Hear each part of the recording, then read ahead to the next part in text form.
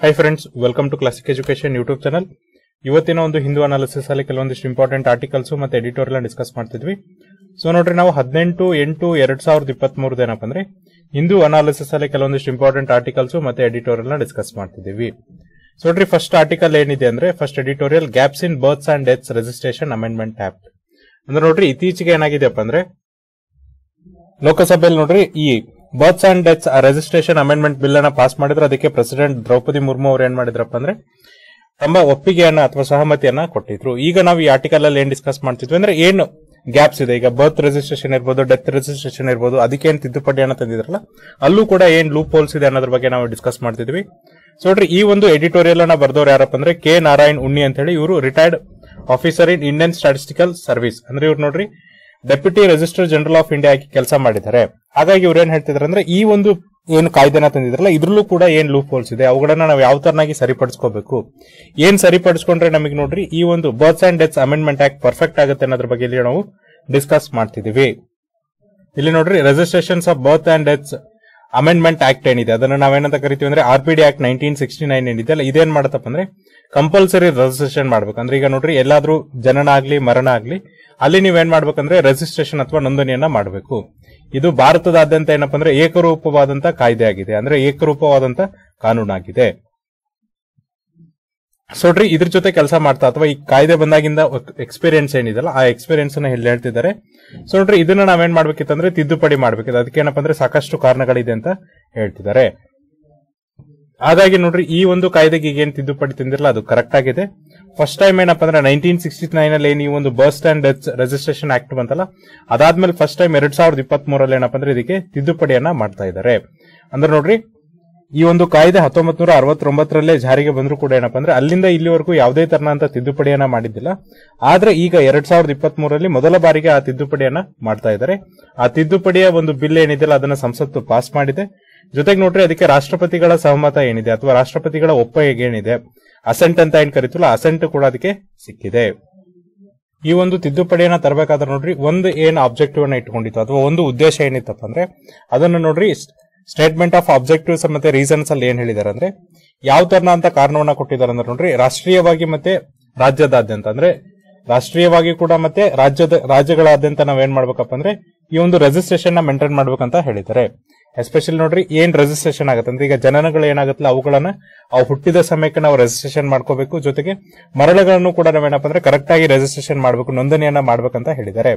So ನೋಡ್ರಿ, ಈ ತರನಾಗಿ ನಾವು ನೋಂದಣಿಯನ್ನ ಮಾಡೋದ್ರಿಂದ, ಜನನ ಮತ್ತೆ ಮರಣಗಳ ನೋಂದಣಿಯನ್ನ ಮಾಡೋದ್ರಿಂದ ನೋಡ್ರಿ, ಏನ್ ಸಹಾಯ ಆಗುತ್ತಪ್ಪ ಅಂದ್ರೆ ನಮಗೆ, ಏನ್ ಈ ಜನನ ಮತ್ತೆ ಮರಣ ಪ್ರಮಾಣ ಇರುತ್ತಲ್ಲ, ಅಥವಾ ಇವುಗಳ ಸಂಖ್ಯೆ ಇರುತ್ತಲ್ಲ, ಅದನ್ನ ಆನ್ ಟೈಮ್ ಅಪ್ಡೇಟ್ ಮಾಡಕ್ ಸಾಧ್ಯ ಆಗುತ್ತೆ. ಜೊತೆಗೆ ನೋಡ್ರಿ, ಅದನ್ನ ನಾವೇನಪ್ಪ ಅಂದ್ರೆ ತುಂಬಾ ಎಫಿಷಿಯಂಟ್ ವೇದಲ್ಲಿ ಅಪ್ಡೇಟ್ ಮಾಡಕ್ಕಾಗತ್ತೆ. ಸುಖ ಸುಮ್ಮನೆ ಮಾಡೋದಲ್ಲ, ಬದಲಾಗಿ ಎಫಿಷಿಯಂಟ್ ವೇದಲ್ಲಿ ಮತ್ತೆ ಅದನ್ನೇನಪ್ಪ ಅಂದ್ರೆ ಪಾರದರ್ಶಕವಾಗಿ ಅಪ್ಡೇಟ್ ಮಾಡಕ್ಕಾಗತ್ತೆ. ಇದರಿಂದ ನೋಡ್ರಿ ಪಬ್ಲಿಕ್ ಸರ್ವಿಸಸ್ ಏನಿದೆ. ಅಂದ್ರೆ ಈಗ ನೋಡ್ರಿ, ಎಷ್ಟೋ ಜನ B P L card holders ಇರ್ತಾರೆ, ಅವ್ರು ಇರ್ಬೋದು. ಬೇರೆ ಬೇರೆ ಫಲಾನುಭವಿಗಳು ಇರ್ತಾರೆ. ಅವರಿಗೆ ನಾವು ಸಾರ್ವಜನಿಕ ಸೇವೆಗಳನ್ನ ಕೊಡಬೇಕು. ಜೊತೆಗೆ ಏನಪ್ಪ ಅಂದ್ರೆ ಸೋಷಿಯಲ್ ಬೆನಿಫಿಟ್ಸ್ ಏನಿರುತ್ತಲ್ಲ, ಅವುಗಳನ್ನ ಇನ್ನೂ ಏನಪ್ಪ ಅಂದ್ರೆ ತುಂಬಾ ಟ್ರಾನ್ಸ್ಫರ್ ಆಗಿ ಕೊಡಬಹುದು ಅಂತೇಳಿ ಉದ್ದೇಶದಲ್ಲಿ ಹೇಳಿದ್ದಾರೆ. ಈ ಒಂದು ಉದ್ದೇಶಕ್ಕೋಸ್ಕರ ನೋಡ್ರಿ, ಯಾವ ಉದ್ದೇಶಕ್ಕೋಸ್ಕರಪ್ಪ ಅಂದ್ರೆ, ಈ ಬಿಲ್ ಏನ್ ಮಾಡತ್ತಂದ್ರೆ ರಿಜಿಸ್ಟರ್ ಜನರಲ್ ಆಫ್ ಇಂಡಿಯಾದವರು ಕೂಡ ಏನಪ್ಪ ಅಂದ್ರೆ, ರಾಷ್ಟ್ರಾದ್ಯಂತ ಅಂದ್ರೆ ರಾಷ್ಟ್ರೀಯವಾಗಿ ಏನ್ ಮಾಡ್ಬೇಕಂದ್ರೆ ಒಂದು ನೋಂದಣಿಯನ್ನ ಇಟ್ಕೋಬೇಕು. ಜನನ ಮತ್ತೆ ಮರಣಗಳ ಒಂದು ನೋಂದಣಿಯನ್ನ ಮೇಂಟೈನ್ ಮಾಡಬೇಕು. ಅದೇ ತರ ನೋಡ್ರಿ, ರಾಜ್ಯಗಳಲ್ಲಿ ಏನಪ್ಪ ಅಂದ್ರೆ ಚೀಫ್ ರೆಜಿಸ್ಟರ್ ಏನಿರ್ತಾರಲ್ಲ ಅವ್ರ ಏನ್ ಮಾಡ್ಬೇಕಂದ್ರೆ ಜನನ ಮತ್ತೆ ಮರಣಗಳ ಏನ್ ಮಾಡ್ಬೇಕಂದ್ರೆ ನೋಂದಣಿಯನ್ನ ಮಾಡ್ಬೇಕಾಗತ್ತೆ. ಅಂದ್ರೆ ಈಗ ಕರ್ನಾಟಕ ರಾಜ್ಯದಲ್ಲಿ ತೆಗೆದುಕೊಂಡ್ರೆ ಕರ್ನಾಟಕ ರಾಜ್ಯದಲ್ಲಿ ಏನ್ ಚೀಫ್ ರಿಜಿಸ್ಟರ್ ಇದಲ್ಲ ಕರ್ನಾಟಕದಲ್ಲಿ ಎಷ್ಟು ಜನನ ಮತ್ತು ಮರಣಗಳಾಗಿದೆ ಅಂತೇಳಿ ಅವರೊಂದು ನೋಂದಣಿಯನ್ನ ಮಾಡ್ಕೋಬೇಕು ಅಥವಾ ರಿಜಿಸ್ಟರ್ನ ಇಟ್ಕೋಬೇಕು. ಅದೇ ತರನಾಗಿ ರಾಷ್ಟ್ರಾದ್ರಂತ ಅಂದ್ರೆ ದೇಶೀಯವಾಗಿ ನೋಡ್ರಿ, ನಮ್ಮ ರಾಷ್ಟ್ರದಲ್ಲಿ ಎಷ್ಟು ಜನನ ಮತ್ತೆ ಮರಣಗಳಾಗಿದೆ ಅಂತೇಳಿ ರಿಜಿಸ್ಟರ್ ಜನರಲ್ ಆಫ್ ಇಂಡಿಯಾದವರು ಕೂಡ ಏನಪ್ಪಾ ಅಂದ್ರೆ ಒಂದು ಈ ಒಂದು ರಿಜಿಸ್ಟರ್ನ ಮೇಂಟೈನ್ ಮಾಡ್ಬೇಕಾಗತ್ತೆ. ಸೊ ನೋಡ್ರಿ ರಾಜ್ಯದಲ್ಲಿ ಏನ್ ಈ ರೆಜಿಸ್ಟರ್ ಮೇಂಟೈನ್ ಮಾಡ್ತಾರಲ್ಲ, ಇವುಗಳನ್ನ ಏನಪ್ಪಾ ಅಂದ್ರೆ, ಈ ರಿಜಿಸ್ಟರ್ ಜನರಲ್ ಆಫ್ ಇಂಡಿಯಾದವ್ರು ಏನ್ ಅಪ್ರೂವಲ್ ಮಾಡ್ತಾರಲ್ಲ, ಅದೇ ಪ್ರಕ್ರಿಯೆಯಲ್ಲಿ ನೀವ್ ಏನ್ ಮಾಡ್ಬೇಕಾಗತ್ತೆ ಅಂದ್ರೆ ರಿಜಿಸ್ಟರ್ನ ಮಾಡ್ಕೋಬೇಕಾಗತ್ತೆ. ಅದಕ್ಕೋಸ್ಕರ ನೋಡ್ರಿ, ಅವ್ರು ನಿಮ್ಗೆ ಏನ್ ಮಾಡ್ತಾರೆ ಅಂದ್ರೆ, ಒಂದು ಪೋರ್ಟಲ್ ಅನ್ನು ಕೂಡ ಅಪ್ರೂವಲ್ ಮಾಡಿ ಕೊಡ್ತಾರೆ. ಈ ಡಾಟಾ ಬೇಸ್ ಇಂದ ನಮ್ಗೆ ಏನ್ ಸಿಗುತ್ತೆ ಅಂದ್ರೆ ನೆಕ್ಸ್ಟ್ ಈ ಡಾಟಾ ಬೇಸ್ ಯಾವ್ದಕ್ ಸಹಾಯ ಆಗುತ್ತೆ, ಅಥವಾ ಈ ಮಾಹಿತಿ ಯಾವ್ದಕ್ ಸಹಾಯ ಆಗುತ್ತೆ ಅಂದ್ರೆ ನೋಡ್ರಿ, ನಮ್ಮ ನ್ಯಾಷನಲ್ ಪಾಪ್ಯುಲೇಷನ್ ರಿಜಿಸ್ಟರ್ಡ್ ಏನಿದೆಯಲ್ಲ ಅದನ್ನ ಅಪ್ಡೇಟ್ ಮಾಡಕ್ಕೆ ಆಧಾರ್ ಡಾಟಾ ಬೇಸ್ ಅನ್ನ ಅಪ್ಡೇಟ್ ಮಾಡಕ್ಕೆ. ಜೊತೆಗೆ ನೋಡ್ರಿ, ಈ ಒಂದು ಎಲೆಕ್ಷನ್ಸ್ ಅಲ್ಲಿ ಏನು ಎಲೆಕ್ಟ್ರೋಲ್ ರೋಲ್ಸ್ ಬರುತ್ತೆ? ಅಂದ್ರೆ ಈಗ ನಾನು ಎಲೆಕ್ಷನ್ಸ್ಗೆ ವೋಟ್ ಹಾಕಕ್ ಹೋಗ್ಬೇಕಾದ್ರೆ ನನಗೆ ಒಂದು ಗುರುತಿನ ಚೀಟಿ ಕೊಟ್ಟಿರ್ತಾರೆ. ಅಥವಾ ನಾವೇನಂತ ಕರಿಬಹುದು ಅಂದ್ರೆ ವೋಟಿಂಗ್ ಐಡಿ ಅಂತ ಕರಿತೀವಲ್ಲ, ಆ ವೋಟರ್ ಐಡಿಯನ್ನ ಅಪ್ಡೇಟ್ ಮಾಡಕ್ ಆಗಿರ್ಬೋದು, ಅಥವಾ ಅಲ್ಲಿ ಎಷ್ಟು ಜನ ಈ ಒಂದು ಮತದಾರರು ಅಂತ ಹೇಳಿ ಮತದಾರರ ಪಟ್ಟಿಯನ್ನ ಬಿಡುಗಡೆ ಮಾಡ್ತಾರಲ್ಲ, ಅದನ್ನ ಅಪ್ಡೇಟ್ ಮಾಡಕ್ಕೆ ಸಹಾಯ ಆಗುತ್ತೆ. ಅದೇ ತರ ನೋಡ್ರಿ, ರೇಷನ್ ಕಾರ್ಡ್ ಅಪ್ಡೇಟ್ ಮಾಡಕ್ಕೆ ಪಾಸ್ಪೋರ್ಟ್ ಅಪ್ಡೇಟ್ ಮಾಡಕ್ಕೆ ಇದೇನಪ್ಪ ಅಂದ್ರೆ ದೇಶ ಮತ್ತೆ ರಾಜ್ಯಾದ್ಯಂತ ದೇಶದಲ್ಲಿ ಮತ್ತೆ ರಾಜ್ಯದಲ್ಲಿ ಎಷ್ಟೆಷ್ಟು ಜನ ಏನಪ್ಪ ಅಂದ್ರೆ ಎಲಿಜಿಬಲ್ ಜನ ಇದ್ದಾರೆ. ಎಸ್ಪೆಷಲಿ ಏನಪ್ಪ ಅಂದ್ರೆ ಎಲೆಕ್ಟ್ರೋಲ್ ರೋಲ್ ಇರ್ಬೋದು, ರೇಷನ್ ಕಾರ್ಡ್ ಇರ್ಬೋದು ಪಾಸ್ಪೋರ್ಟ್ ಇರ್ಬೋದು, ಜೊತೆಗೆ ಆಧಾರ್ ಡಾಟಾ ಬೇಸ್ ಇರ್ಬೋದು, ಇವುಗಳನ್ನ ಅಪ್ಡೇಟ್ ಮಾಡಕ್ಕೆ ಇದು ಸಹಾಯವನ್ನ ಮಾಡುತ್ತೆ. ಹಾಗಾದ್ರೆ ಯಾವ ತರನಾಗಿ ಇಲ್ಲಿ ಅಪ್ಡೇಟ್ ಅನ್ನ ಮಾಡ್ತಾ ಹೋಗ್ತಾರೆ ಅಂದ್ರೆ ನೋಡ್ರಿ, ಈಗ ಜನನದ ಒಂದು ವಿಷಯದಲ್ಲಿ ಬಂದಾಗ ಅಂದ್ರೆ ಯಾರಿಗಾದ್ರೂ ಮಗು ಜನಿಸಿದಾಗ, ಅಲ್ಲಿ ಜನನಗಳಾದಾಗ ನೋಡ್ರಿ, ಇಲ್ಲಿ ಏನ್ ಮಾಡುತ್ತಂದ್ರೆ ಈ ಒಂದು ತಿದ್ದುಪಡಿ ಮೂಲಕ ಏನ್ ಮಾಡ್ತಾರೆ ಅಂದ್ರೆ, ಏನು ಪೇರೆಂಟ್ಸ್ ಇರ್ತಾರೆ ಅಂದ್ರೆ ಆ ಒಂದು ಮಗುವಿನ ಏನ್ ಪಾಲಕರು ಇರ್ತಾರಲ್ಲ, ಅವರ ಆಧಾರ್ ನಂಬರ್ ಅನ್ನ ತೆಗೆದುಕೊಳ್ತಾರೆ. ಅದ್ರ ಮೂಲಕ ಅಲ್ಲಿ ಏನಪ್ಪ ಅಂದ್ರೆ ಜನವನ್ನ ಅಪ್ಡೇಟ್ ಮಾಡ್ತಾ ಹೋಗ್ತಾರೆ. ಅದೇ ನೋಡ್ರಿ, ಸಾವಾದಾಗ ಎಸ್ಪೆಷಲಿ ಯಾರಾದ್ರೂ ಸತ್ರೆ ಅಥವಾ ಯಾರಾದ್ರೂ ರೋಗಗ್ರಸ್ತತೆ ಇದ್ರೆ, ಅಲ್ಲಿ ಆಧಾರ್ ನಂಬರ್ ತಗೋಬೇಕೋ ಬೇಡೋ ಅನ್ನೋದನ್ನ ಏನಪ್ಪ ಅಂದ್ರೆ ಇಲ್ಲಿ ಕ್ಲಿಯರ್ ಆಗಿ ಮೆನ್ಷನ್ ಮಾಡಿಲ್ಲ. ಅಂದ್ರೆ ಜನನಗಳ ವಿಷಯ ಬಂದಾಗ ಏನು ಇಲ್ಲಿ ಮಕ್ಕಳ ಜನನ ಆಗುತ್ತಲ್ಲ, ಅವಾಗ ಆ ಪೇರೆಂಟ್ಸ್ ಏನಿರ್ಬೇಕಪ್ಪ ಅಂದ್ರೆ ಆಧಾರ್ ಕಾರ್ಡ್ನ ಕಲೆಕ್ಟ್ ಮಾಡ್ರಿ ಅಂತ ಹೇಳಿದ್ದಾರೆ. ಅದೇ ಮರಣಗಳ ಒಂದು ವಿಷಯ ಬಂದಾಗ, ಈಗ ನೋಡ್ರಿ ಒಬ್ಬ ವ್ಯಕ್ತಿ ರೋಗಗ್ರಸ್ತವಾಗಿದ್ದಾನೆ, ಅಥವಾ ಅವನು ಏನಪ್ಪ ಅಂದ್ರೆ ಇವತ್ತು ನಾಳೆ ಸಾಯ್ತಾನಂದಾಗ ಆ ವ್ಯಕ್ತಿಯ ಒಂದು ಆಧಾರ್ ಕಾರ್ಡ್ ಅನ್ನ ಕಲೆಕ್ಟ್ ಮಾಡಿ ಅವ್ನ ಸತ್ ಮೇಲೆ ಆ ಇನ್ಫಾರ್ಮೇಶನ್ ತೆಗೆದುಕೊಂಡು ಆ ಡಾಟಾವನ್ನು ಏನ್ ಡಿಲೀಟ್ ಮಾಡ್ಬೇಕಲ್ಲ, ಆ ಒಂದು ಪ್ರೊಸೆಸ್ ಅನ್ನ ಇವರು ಮಾಡ್ತಾ ಇಲ್ಲ. ಆ ಕ್ರಿಯೆ ಯಾಕೆ ಮಾಡ್ತಾ ಇಲ್ಲ ಅನ್ನೋದು ಇಲ್ಲಿ ಕ್ವಶನ್ ಮಾರ್ಕ್ ಆಗಿದೆ ನೋಡ್ರಿ. ಯಾಕಂದ್ರೆ ಇವ್ರು ಏನ್ ಮಾಡ್ತಿಲ್ಲ ಅಂದ್ರೆ ಡಿಸೀಸ್ಡ್ ಏನಿದಾರಲ್ಲ, ಅವರ ಒಂದು ಆಧಾರ್ ನಂಬರ್ ಅನ್ನ ಇಲ್ಲಿ ತೆಗೆದುಕೊಳ್ತಾ ಇಲ್ಲ. ಸೊ ನೋಡ್ರಿ ಈ ತರನಾಗಿ ಏನಪ್ಪ ಅಂದ್ರೆ ಆಧಾರ್ ನಂಬರ್ ತೆಗೆದುಕೊಳ್ಳಿಲ್ಲ ಅಂದ್ರೆ ನಮಗೆ ಏನ್ ಮಾಡಕ್ಕಾಗಲ್ಲ ಅಂದ್ರೆ ಈ ಒಂದು ರೆಜಿಸ್ಟರ್ನ ಅಪ್ಡೇಟ್ ಮಾಡಕ್ಕಾಗಲ್ಲ. ಈಗ ನೋಡ್ರಿ, ಆ ವ್ಯಕ್ತಿ ಏನು ರೋಗಗ್ರಸ್ತತೆಯಿಂದ ಕೂಡಿದ ವ್ಯಕ್ತಿ ಸಾವಾದ್ರೆ ಆ ವ್ಯಕ್ತಿ ರೆಜಿಸ್ಟರ್ ಅಲ್ಲಿ ಏನಾಗ್ತಾನಂದ್ರೆ ಬದುಕೇ ಇರ್ತಾನೆ ಬಟ್ ರಿಯಲ್ ಆಗಿ ಅವನು ಸಾವಾಗಿರ್ತಾನೆ. ಹಾಗಾಗಿ ಇಲ್ಲಿ ಏನ್ ಫಾಲ್ಸ್ ಜನ ಇರ್ತಾರೆ. ಅಂದ್ರೆ ನೋಡ್ರಿ ಫೇಕ್ ಆಗಿ ಏನೀಗ ಬದುಕಿದ್ದೇನೆ ಅಂತ ಹೇಳ್ತಿರ್ತಾರಲ್ಲ, ಅದನ್ನ ನಾವು ತೆಗೆದಾಕಕ್ಕೆ ಇಲ್ಲಿ ಸಾಧ್ಯ ಆಗೋದಿಲ್ಲ. ಹಾಗಾಗಿ ನಾವು ಇಲ್ಲಿ ಏನ್ ಮಾಡ್ಬೇಕಪ್ಪ ಅಂದ್ರೆ ಆಧಾರ್ ನಂಬರ್ ಅನ್ನ ನೀಟಾಗಿ ಕಲೆಕ್ಟ್ ಮಾಡಬೇಕು. ಆದ್ರೆ ಅದ್ರ ಬಗ್ಗೆ ಇಲ್ಲಿ ಎಲ್ಲಿಯೂ ಕೂಡ ಮೆನ್ಷನ್ ಮಾಡಿಲ್ಲ. ಜೊತೆಗೆ ನೋಡ್ರಿ, ಯಾವೆಲ್ಲ ವ್ಯಕ್ತಿ ಏನಪ್ಪ ಅಂದ್ರೆ ರೋಗಗ್ರಸ್ತತೆಯಿಂದ ಕೊಟ್ಟಿರ್ತಾನೆ ಡಿಸೀಸ್ ಇಂದ ಕೂಡಿರ್ತಾನಲ್ಲ, ಅವನ ಆಧಾರ್ ನಂಬರ್ ಅನ್ನ ಕಲೆಕ್ಟ್ ಮಾಡಲಿಲ್ಲ ಅಂದ್ರೆ ನಮಗೇನು ಈಗ ಪ್ರತಿ ನಿಮಿಷಕ್ಕೂ ಅಥವಾ ಪ್ರತಿ ದಿನಕ್ಕೂ ನಮ್ಗೇನ್ ಅಪ್ಡೇಟ್ ಆಗ್ಬೇಕಂತೇಳಿ ನಾವೇನ್ ಮಾಡ್ಕೊಂಡಿದೀವಲ್ಲ ಪೋರ್ಟಿನ್ ಆ ಒಂದು ಉದ್ದೇಶ ಏನಿದೆ ಅಂದ್ರೆ ಪ್ರತಿದಿನೂ ಕೂಡ ಏನಪ್ಪಾ ಅಂದ್ರೆ ಇಷ್ಟು ಜನನ ಮತ್ತೆ ಮರಣಗಳಾದ್ವು ಅಂತ ಹೇಳಿ ಅಪ್ಡೇಟ್ ಮಾಡ್ಕೋಬೇಕಂತ ಮಾಡಿದ್ವಲ್ಲ, ಆ ಅಪ್ಡೇಟ್ ಮಾಡ್ಬೇಕಂತ ಉದ್ದೇಶನ ಇಲ್ಲಿ ಹೋಗ್ಬಿಡುತ್ತೆ. ಇದರಿಂದ ನೋಡ್ರಿ ನಾವೇನಂತ, ನಾವೇನಂತೇಳಿ ಈ ಬಿಲ್ ಅನ್ನ ತಿದ್ದುಪಡಿಗೆ ತಗೊಂಡ್ಬಂದಿದ್ವಪ್ಪ ಅಂದ್ರೆ ತುಂಬಾ ಸಾಮರ್ಥ್ಯವಾಗಿ, ತುಂಬಾ ಪಾರದರ್ಶಕವಾಗಿ ನಾವೇನ್ ಮಾಡ್ತೀವಿ ಅಂದ್ರೆ ಸಾರ್ವಜನಿಕ ಸೇವೆಗಳನ್ನ ಮತ್ತೆ ಸೋಷಿಯಲ್ ಬೆನಿಫಿಟ್ಸ್ ಅನ್ನ ಏನ್ ಕೊಡ್ತೀವಿ ಅಂತ ಹೇಳಿದ್ವಲ್ಲ, ಅದನ್ನ ಈಗ ಅಚೀವ್ ಮಾಡಕ್ಕಾಗಲ್ಲ ಅಂತ ಹೇಳ್ತಿದ್ದಾರೆ. ಯಾಕಂದ್ರೆ ನೋಡ್ರಿ ಅಲ್ಲಿ ಮರಣಗಳ ಸಂಖ್ಯೆನೂ ಕಡಿಮೆ ಆದಾಗ ಮಾತ್ರ ನಮ್ಗೆ ಏನ್ ಗೊತ್ತಾಗುತ್ತೆ ಅಂದ್ರೆ ಎಷ್ಟು ಜನ ಇದ್ದಾರೆ ಅಂತ ಗೊತ್ತಾಗುತ್ತೆ. ಇಲ್ಲಾಂದ್ರೆ ನೋಡ್ರಿ ಫೇಕ್ ಬೆನಿಫಿಷಿಯರ್ಸ್ ಏನ್ ಮಾಡ್ದಂಗ ಅಂದ್ರೆ ನಾವು ಆ ಫಲಾನುಭವತಿಗಳನ್ನ ಕೊಟ್ಟಂಗಾಗುತ್ತೆ. ಹಾಗಾಗಿ ತುಂಬಾ ಎಫಿಷಿಯಂಟ್ ಆಗಿ ಮತ್ತೆ ಟ್ರಾನ್ಸ್ಪರೆಂಟ್ ಆಗಿ ಅಲ್ಲೇನಪ್ಪ ಅಂದ್ರೆ ಸೋಷಿಯಲ್ ಸರ್ವಿಸಸ್ ಅನ್ನ ಮತ್ತೇನಂದ್ರೆ ಪಬ್ಲಿಕ್ ಸರ್ವಿಸಸ್ ಅನ್ನ ಕೊಡಕ್ಕೆ ನಮಗೆ ಸಾಧ್ಯವಾಗುವುದಿಲ್ಲ.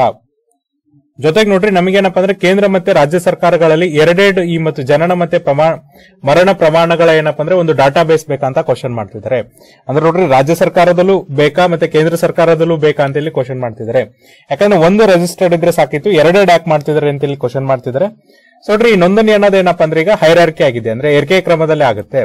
ಈಗ ಮೊದಲೇನಂದ್ರೆ ರಾಜ್ಯ ಸರ್ಕಾರಗಳ ಒಂದು ಜವಾಬ್ದಾರಿ ಆಗಿದೆ. ಏನ್ ಜವಾಬ್ದಾರಿ ಅಪ್ಪ ಅಂದ್ರೆ ರಿಜಿಸ್ಟರ್ ಜನರಲ್ ಆಫ್ ಇಂಡಿಯಾದವ್ರಿಗೆ ಏನಪ್ಪ ಅಂದ್ರೆ ಇಲ್ಲೇನ್ ಮಾಡ್ಬೇಕಂದ್ರೆ ಎಷ್ಟು ಜನನ ಮತ್ತೆ ಮರಣಗಳಾಗಿದೆ ಅಂತ ಹೇಳಿ ಕೋಆರ್ಡಿನೇಷನ್ ಮಾಡೋದು ಅಥವಾ ಸಹಕಾರ ಕೊಡುವುದು ರಾಜ್ಯ ಸರ್ಕಾರಗಳ ಇಲ್ಲಿ ಒಂದು ಜವಾಬ್ದಾರಿ ಆಗಿದೆ ಇಲ್ಲಿ ನೋಡ್ರಿ ರಿಜಿಸ್ಟರ್ ಜನರಲ್ ಆಫ್ ಇಂಡಿಯಾ ಏನ್ ಮಾಡ್ತಾರೆ ಅಂದ್ರೆ ಜಸ್ಟ್ ಅಲ್ಲೇನ್ ಬರುತ್ತಲ್ಲ, ಆ ಮಾಹಿತಿಯನ್ನ ತೆಗೆದುಕೊಂಡು ತಮ್ಮ ಪೋರ್ಟಲ್ ಅಲ್ಲಿ ಹಾಕೋತಾರೆ. ಜೊತೆಗೆ ಅದೇನೇನ್ ಮಾಡ್ತಾರೆ ಅಂದ್ರೆ ಯೂನಿಫಿಕೇಶನ್ಸ್ನ ಮಾಡ್ತಾರೆ. ಅಂದ್ರೆ ನೋಡ್ರಿ ಏಕೀಕ ಏಕೀಕೃತವಾದಂತ ಒಂದು ರಿಜಿಸ್ಟ್ರೇಷನ್ ಅಥವಾ ನೋಂದಣಿ ವ್ಯವಸ್ಥೆನಲ್ಲಿ ಜಾರಿಗೆ ತರ್ತಾರೆ. ಇಲ್ಲಿ ನೋಡ್ರಿ ರಿಜಿಸ್ಟರ್ ಜನರಲ್ ಆಫ್ ಇಂಡಿಯಾದ ಕೆಲಸ ಏನಿರುತ್ತೆ ಅಂದ್ರೆ, ಇವರ ಮುಖ್ಯ ಕೆಲಸಗಳು ಏನಪ್ಪ ಅಂದ್ರೆ ಸೆಂಟ್ರಲ್ ಡಾಟಾ ಬೇಸ್ ಏನಿದೆ ಅಂದ್ರೆ, ಕೇಂದ್ರ ಸರ್ಕಾರದಲ್ಲಿ ಏನ್ ಡಾಟಾ ಇದೆಯಲ್ಲ, ಅದನ್ನ ಮೇಂಟೈನ್ ಮಾಡೋದು ಇವ್ರದ್ದು ಮುಖ್ಯ ಕಾರ್ಯ ಆಗಿರುತ್ತೆ. ಅದೇ ತರ ನೋಡ್ರಿ ಚೀಫ್ ರಿಜಿಸ್ಟರ್ಸ್ ಏನಿರ್ತಾರೆ ಅಂದ್ರೆ, ರಾಜ್ಯಗಳಲ್ಲಿ ಚೀಫ್ ರಿಜಿಸ್ಟರ್ ಇರ್ತಾರಲ್ಲ, ಇವ್ರಗಳ ಕೆಲಸ ಏನಪ್ಪ ಅಂದ್ರೆ, ಇವ್ರು ನೋಡ್ರಿ, ಜನನ ಮತ್ತೆ ಮರಣಗಳನ್ನ ಏನ್ ಮಾಡ್ಬೇಕಂದ್ರೆ ಅಕ್ಯುರೇಟ್ ಆಗಿ ರಿಜಿಸ್ಟರ್ಡ್ ಅಥವಾ ನೋಂದಣಿಯನ್ನ ಮಾಡ್ಕೋಬೇಕಾಗತ್ತೆ. ಅದಕ್ಕೋಸ್ಕರ ಅವ್ರೇನಪ್ಪ ಅಂದ್ರೆ ತುಂಬಾ ಸಾಮರ್ಥ್ಯವಾದಂತ ಮ್ಯಾನರ್ ಅಲ್ಲಿ ಏನ್ ಮಾಡ್ಬೇಕಂದ್ರೆ ಜನನ ಮತ್ತೆ ಮರಣಗಳ ಪ್ರಮಾಣವನ್ನ ಎಫಿಷಿಯಂಟ್ ಆಗಿ ಅವ್ರೇನಪ್ಪ ಅಂದ್ರೆ ರಿಜಿಸ್ಟರ್ ಮಾಡ್ಕೋಬೇಕಾಗತ್ತೆ. ಅವಾಗ ಮಾತ್ರ ನೋಡ್ರಿ ಅವ್ರೇನ್ ಮಾಡ್ಬೋದಪ್ಪ ಅಂದ್ರೆ ಏನ್ ನಾವು ಈಗ ಟ್ರಾನ್ಸ್ಪರೆಂಟ್ ಆಗಿ ಮತ್ತೆ ಪಾರದರ್ಶಕವಾಗಿ ಮತ್ತೆ ತುಂಬಾ ಪಬ್ಲಿಕ್ ಹೆಲ್ಪ್ ಆಗಿ ಸೋಷಿಯಲ್ ಸರ್ವಿಸ್ ಅಥವಾ ಪಬ್ಲಿಕ್ ಸರ್ವಿಸ್ ಕೊಡ್ತೀವಿ ಅಂತ ಹೇಳಿದ್ವಲ್ಲ, ಅದನ್ನ ಫುಲ್ಫಿಲ್ ಮಾಡಕ್ಕೆ ಸಾಧ್ಯ ಆಗುತ್ತೆ. ಹಾಗಾಗಿ ನೋಡ್ರಿ, ಇಲ್ಲಿ ರಾಜ್ಯ ಸರ್ಕಾರದ ಚೀಫ್ ರಿಜಿಸ್ಟರ್ಡ್ ಏನು ಅವಕಾಶಗಳಿರುತ್ತೆ ಅಥವಾ ಏನು ಹೆಚ್ಚಿನ ಜವಾಬ್ದಾರಿ ಇರುತ್ತೆ ಅಂದ್ರೆ ಅವರು ನೀಟಾಗಿ ಜನನ ಮತ್ತೆ ಮರಣ ಪ್ರಮಾಣ ಪತ್ರಗಳನ್ನ ಕರೆಕ್ಟ್ ಆಗಿ ಹಂಚಬೇಕು, ಮತ್ತೆ ಅದನ್ನ ಏನಪ್ಪ ಅಂದ್ರೆ ಯಾವುದೇ ತರನಾಗಿ ಲೂಪ್ ಇಲ್ಲದೆ ತರನಾಗಿ ಕೊಡಬೇಕಾಗತ್ತೆ. ಆ ಕೆಲಸವನ್ನ ನೋಡ್ರಿ, ಈಗೂ ಕೂಡ ಮಾಡ್ತಾ ಇದ್ದಾರೆ. ಅಂದ್ರೆ ಈ ಒಂದು ತಿದ್ದುಪಡಿ ಬರೋದಕ್ಕಿಂತ ಮುಂಚೆ ಏನಪ್ಪ ಅಂದ್ರೆ ರಾಜ್ಯದಲ್ಲಿರುವಂತಹ ಚೀಫ್ ರಿಜಿಸ್ಟರ್ಡ್ ಆ ಕೆಲಸವನ್ನ ಮಾಡ್ತಾ ಇದ್ದಾರೆ ಅಂತ ಹೇಳ್ತಿದ್ರೆ ಈಗ ಅಲ್ಲಿ ಏನ್ ಮಾಡಿದ್ರೆ ಅಂದ್ರೆ, ಒಂದು ಹೈರಾರ್ಕಿ ಜವಾಬ್ದಾರಿಯನ್ನು ಅದಕ್ಕೆ ತೆಗೆದುಕೊಂಡು ಬಂದಿದ್ದಾರೆ. ಈಗ ನೋಡ್ರಿ ನ್ಯಾಷನಲ್ ಡಾಟಾ ಬೇಸ್ ಏನಿದೆಯಲ್ಲ, ಈ ನ್ಯಾಷನಲ್ ಡಾಟಾ ಬೇಸ್ ಅನ್ನೋದೇನಪ್ಪ ಅಂದ್ರೆ, ರಾಷ್ಟ್ರೀಕೃತವಾಗಿ ಈಗ ಒಂದು ನೋಂದಣಿಯನ್ನ ಮಾಡ್ಕೊಂಡಿದ್ದಾರೆ ಅಲ್ಲೇನಾಗಿರುತ್ತೆ ಅಂದ್ರೆ, ಈ ಡಾಟಾವನ್ನ ಎಲ್ಲಿಂದ ಕಲೆಕ್ಟ್ ಮಾಡಿರ್ತಾರಪ್ಪ ಅಂದ್ರೆ, ರಾಜ್ಯ ಸರ್ಕಾರದಲ್ಲಿ ಅಥವಾ ರಾಜ್ಯಗಳ ಹಂತದಲ್ಲಿ ಏನ್ ಡಾಟಾವನ್ನ ಕಲೆಕ್ಟ್ ಮಾಡ್ಕೊಂಡಿರ್ತಾರಲ್ಲ, ಅವುಗಳನ್ನ ಕೂಡಿಸಿ ಅಥವಾ ಅವುಗಳನ್ನ ಮಿಶ್ರಣ ಮಾಡಿ ಇಲ್ಲಿ ಏನ್ ಮಾಡಿರ್ತಾರೆ ಅಂದ್ರೆ, ರಾಷ್ಟ್ರದಲ್ಲಿ ಒಂದು ಡಾಟಾ ಬೇಸ್ ಅನ್ನ ಕ್ರಿಯೇಟ್ ಮಾಡಿರ್ತಾರೆ ಅಂತ ಹೇಳ್ತಿದ್ದಾರೆ. ಆಮೇಲೆ ನೋಡ್ರಿ, ಇದು ಈಗಲೂ ಕೂಡ ಮಾಡ್ತಾ ಇದಾರೆ ಅಂತ ಹೇಳ್ತಿದ್ರೆ. ಇಲ್ಲಿ ಕೆಲವೊಂದಿಷ್ಟು ರಾಜ್ಯಗಳಿಗೆ ಏನಾಗಬಹುದಪ್ಪ ಅಂದ್ರೆ, ಈ ರಿಜಿಸ್ಟರ್ ಜನರಲ್ ಆಫ್ ಇಂಡಿಯಾದವ್ರು ಏನ್ ಸ್ಟ್ಯಾಂಡರ್ಡ್ ಹೇಳ್ತಾರಲ್ಲ, ಆ ಸ್ಟ್ಯಾಂಡರ್ಡ್ ಪ್ರಕಾರ ಏನ್ ಮಾಡ್ಬೇಕಾಗತ್ತಂದ್ರೆ, ಈ ದತ್ತಾಂಶವನ್ನ ಕಲೆಕ್ಟ್ ಮಾಡ್ಬೇಕಾಗತ್ತೆ. ಅಂದ್ರೆ ಇವು ಕೂಡ ಏನಪ್ಪ ಅಂದ್ರೆ, ಎಲ್ಲಾ ರಾಜ್ಯಗಳಲ್ಲೂ ಕೂಡ ಏನಂದ್ರೆ ಚೀಫ್ ರಿಜಿಸ್ಟರ್ ದತ್ತಾಂಶವನ್ನ ಕಲೆಕ್ಟ್ ಮಾಡ್ತಾರೆ. ನ್ಯಾಷನಲ್ ಡಾಟಾ ಅನ್ನೋದೇನಾಗುತ್ತೆ ಅಂದ್ರೆ ಅವುಗಳ ಒಂದು ಕೂಡ್ಸುವಿಕೆ ಅಥವಾ ಎಲ್ಲಾ ಡಾಟಾವನ್ನ ಕೂಡ್ಸ್ಕೊಂಡು ನ್ಯಾಷನಲ್ ಡಾಟಾ ಬೇಸ್ ಅಂತ ಹೇಳಿ ಮಾಡ್ತಾರೆ. ಆಮೇಲೆ ನೋಡ್ರಿ, ಈ ಡಾಟಾ ಬೇಸಸ್ ಏನ್ ಮಾಡ್ತಾರಲ್ಲ, ಇವುಗಳನ್ನ ಏನಪ್ಪ ಅಂದ್ರೆ, ಜನನ ಮತ್ತೆ ಮರಣಗಳ ದತ್ತಾಂಶವನ್ನ ಕಲೆಕ್ಟ್ ಮಾಡ್ಬೇಕಾಗತ್ತೆ. ಆಮೇಲೆ ನೋಡ್ರಿ ಇನ್ ಕೇಸ್ ನೀವೇನಾದ್ರೂ ಹೊಸ ಸಿಸ್ಟಮ್ ಅನ್ನ ಡಿಸೈನ್ ಮಾಡಿದ್ರು ಕೂಡ ಏನಾಗುತ್ತೆ ಅಂದ್ರೆ, ಆ ಡಾಟಾ ಯಾವ ತರನಾಗಿ ಫ್ಲೋ ಆಗುತ್ತಪ್ಪ ಅಂದ್ರೆ ಡೈಲಿ ಬೇಸಿಸ್ ಅಲ್ಲಿ. ಅಂದ್ರೆ ನೋಡ್ರಿ, ಈ ದಿನದಿಂದ ದಿನಕ್ಕೆ ಇವತ್ತು ಯಾವಾರಪ್ಪ ಅಂದ್ರೆ, ಇವತ್ತು ಶುಕ್ರವಾರ, ನಾಳೆ ಶನಿವಾರ, ಶುಕ್ರವಾರ ಇಷ್ಟ ಆಯ್ತು, ಶನಿವಾರ ಇಷ್ಟ ಆಯ್ತು, ಈ ದಿನ ಇಷ್ಟ ಆಯ್ತು ಡೈಲಿ ಬೇಸಿಸ್ ಮೇಲೆ ಹೋಗ್ಬೋದು ಅಥವಾ ರಿಯಲ್ ಟೈಮ್ ಬೇಸಿಸ್ ಮೇಲೂ ಕೂಡ ಹೋಗ್ಬೋದು. ರಿಯಲ್ ಟೈಮ್ ಅಂದ್ರೆ ನೋಡ್ರಿ ಸೆಕೆಂಡ್ ಸೆಕೆಂಡ್ಗೆ ಅಥವಾ ನಿಮಿಷ ನಿಮಿಷಕ್ಕೂ ಕೂಡ ಏನಪ್ಪ ಅಂದ್ರೆ ಮಾಹಿತಿನ ಕಳಿಸಬಹುದು ಇದರಿಂದ ಏನಾಗುತ್ತೆ ಅಂದ್ರೆ, ನಮಗೆ ಎಫಿಷಿಯಂಟ್ ಆದಂತ ಒಂದು ದತ್ತಾಂಶ ಕಲೆಕ್ಟ್ ಮಾಡಕ್ಕೆ ಸಾಧ್ಯ ಆಗುತ್ತೆ ಅಂತ ಹೇಳ್ತಿದ್ದಾರೆ. ಅದಕ್ಕೋಸ್ಕರ ನೋಡ್ರಿ ರಿಜಿಸ್ಟರ್ ಜನರಲ್ ಆಫ್ ಇಂಡಿಯಾದವ್ರು ಏನ್ ಮಾಡ್ಬೇಕಾಗತ್ತಂದ್ರೆ, ನೀವು ದತ್ತಾಂಶವನ್ನ ಯಾವ ತರನಾಗಿ ಕಲೆಕ್ಟ್ ಮಾಡ್ತೀರಾ? ಅಂದ್ರೆ ಆ ಡಾಟಾ ಸ್ಟ್ಯಾಂಡರ್ಡೈಸೇಷನ್ ಯಾವ ತರನಾಗಿರ್ಬೇಕು ಜೊತೆಗೆ ಯಾವ ತರನ ಅಂತ ಟ್ರಾನ್ಸ್ಫರ್ ಪ್ರೋಟೋಕಾಲ್ಸ್ ಇರಬೇಕು. ಅಂದ್ರೆ ನೋಡ್ರಿ, ಈಗ ನೀವು ದತ್ತಾಂಶವನ್ನ ಕಲೆಕ್ಟ್ ಮಾಡ್ಕೊಂಡು ಸ್ಟೇಟ್ ರಿಜಿಸ್ಟರ್ಡ್ಗೆ ಹಾಕೊಂಡ್ರಿ, ಅದನ್ನ ನ್ಯಾಷನಲ್ ರಿಜಿಸ್ಟರ್ಗೆ ಯಾವ ತರನಾಗಿ ಕಳಿಸ್ಬೇಕು. ಈ, ಇಲ್ಲಿರುವಂತ ಪ್ರೊಸೀಜರ್ ಏನು, ಅದನ್ನ ಮೆನ್ಷನ್ ಮಾಡಬೇಕಾಗುತ್ತೆ. ಹಾಗಾದ್ರೆ ನೋಡ್ರಿ, ಇಲ್ಲಿ ನಮಗೆ ಕೊನೆಗೆ ಹುಟ್ಕೊಳ್ಳೋದು ಒಂದು ಕ್ವಶನ್ ಏನಂದ್ರೆ ನ್ಯಾಷನಲ್ ಡಾಟಾ ಬೇಸ್ ಯಾಕೆ ಬೇಕಿತ್ತು? ಯಾಕಂದ್ರೆ ನೋಡ್ರಿ, ರಾಜ್ಯದಲ್ಲಿ ಆಲ್ರೆಡಿ ಡಾಟಾ ಬೇಸ್ ಇರೋದ್ರಿಂದ ಮತ್ತೆ ರಾಷ್ಟ್ರೀಯವಾಗಿ ಡಾಟಾ ಬೇಸ್ ಯಾಕೆ ಬೇಕಿತ್ತು ಅನ್ನೋ ಒಂದು ಕ್ವಶನ್ ಹುಟ್ಕೊಳ್ಳುತ್ತೆ ಅದಕ್ಕೆ ಉತ್ತರ ನೋಡ್ರಿ, ಯಾಕೆ ಬೇಕಿತ್ತಪ್ಪ ಅನ್ನೋದಕ್ಕೆ ನೋಡ್ರಿ. ಈ ತರದ ಡಾಟಾ ಬೇಸ್ ಯಾವ್ದಕ್ ಬೇಕಾಗತ್ತಪ್ಪ ಅಂದ್ರೆ ಕೇಂದ್ರದಲ್ಲಿರುವಂತದ್ದು ಸೊ ನೋಡ್ರಿ ಯಾವೆಲ್ಲ ಅಥಾರಿಟೀಸ್ ಏನಪ್ಪ ಅಂದ್ರೆ ಕೆಲವೊಂದಿಷ್ಟು ಲಿಸ್ಟ್ ಅನ್ನ ಅಥವಾ ದತ್ತಾಂಶವನ್ನ ಪ್ರಿಪೇರ್ ಮಾಡ್ತಿರ್ತಾರೆ, ಮತ್ತೆ ಮೇಂಟೈನ್ ಮಾಡ್ತಿರ್ತಾರಲ್ಲ, ಅವ್ರಿಗೆ ಇದು ತುಂಬಾ ಹೆಲ್ಪ್ ಆಗುತ್ತೆ. ಸೊ ನೋಡ್ರಿ ಯಾವೆಲ್ಲ ಡಾಟಾ ಬೇಸಸ್ ಅಥವಾ ದತ್ತಾಂಶಗಳನ್ನ ಪ್ರಿಪೇರ್ ಮಾಡೋರಿಗೆ ಇದು ಸಹಾಯ ಆಗುತ್ತೆ ಅಂದ್ರೆ ನೋಡ್ರಿ. ಪಾಪ್ಯುಲೇಷನ್ ರಿಜಿಸ್ಟರ್ ಅಂದ್ರೆ ನಮ್ಮ ದೇಶದಲ್ಲಿ ಎಷ್ಟು ಜನಸಂಖ್ಯೆ ಇದೆ, ಅದನ್ನ ನೋಡ್ತಿರ್ತಾರಲ್ಲ, ಅವ್ರಿಗೆ ಇದು ಅನುಕೂಲ ಆಗುತ್ತೆ. ಅದನ್ನ ಮೇಂಟೆನೆನ್ಸ್ ಮಾಡೋರು ಕೂಡ ಅನುಕೂಲ ಆಗುತ್ತೆ. ಜೊತೆಗೆ ನೋಡ್ರಿ ಎಲೆಕ್ಟ್ರೋರಲ್ ರೋಲ್ಸ್ ಅಂದ್ರೆ ಈಗ ಈ ಒಂದು ಚುನಾವಣೆಯಲ್ಲಿ ಎಷ್ಟು ಜನ ಏನಪ್ಪ ಅಂದ್ರೆ ಮತದಾರರು ಇದ್ದಾರೆ. ಈ ಮತದಾರರ ಪಟ್ಟಿಯನ್ನ ತಯಾರು ಮಾಡೋದ್ರಲ್ಲಿ ಅನುಕೂಲ ಆಗುತ್ತೆ. ಜೊತೆಗೆ ನೋಡ್ರಿ, ಆಧಾರ್ ನಂಬರ್ ಅನ್ನ ಅಪ್ಡೇಟ್ ಮಾಡೋದ್ರಲ್ಲಿ ಇಲ್ಲಿ ಅನುಕೂಲ ಆಗುತ್ತೆ.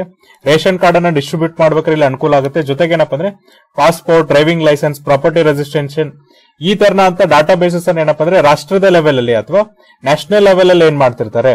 ಈಗ ಕೇವಲ ರಾಜ್ಯದಲ್ಲಿ ಮಾತ್ರ ಅಲ್ಲ, ಬದಲಾಗಿ ಏನಪ್ಪ ಅಂದ್ರೆ ದೇಶದಾದ್ಯಂತ ಏನ್ ಮಾಡ್ತಿರ್ತಾರಲ್ಲ ಅಂತವ್ರಿಗೆ ಇದು ಹೆಲ್ಪ್ ಆಗುತ್ತೆ ಅಂತೇಳಿ ಈ ನೋಟಿಫಿಕೇಶನ್ಸ್ ಅಲ್ಲಿ ಹೇಳಿದ್ದಾರೆ.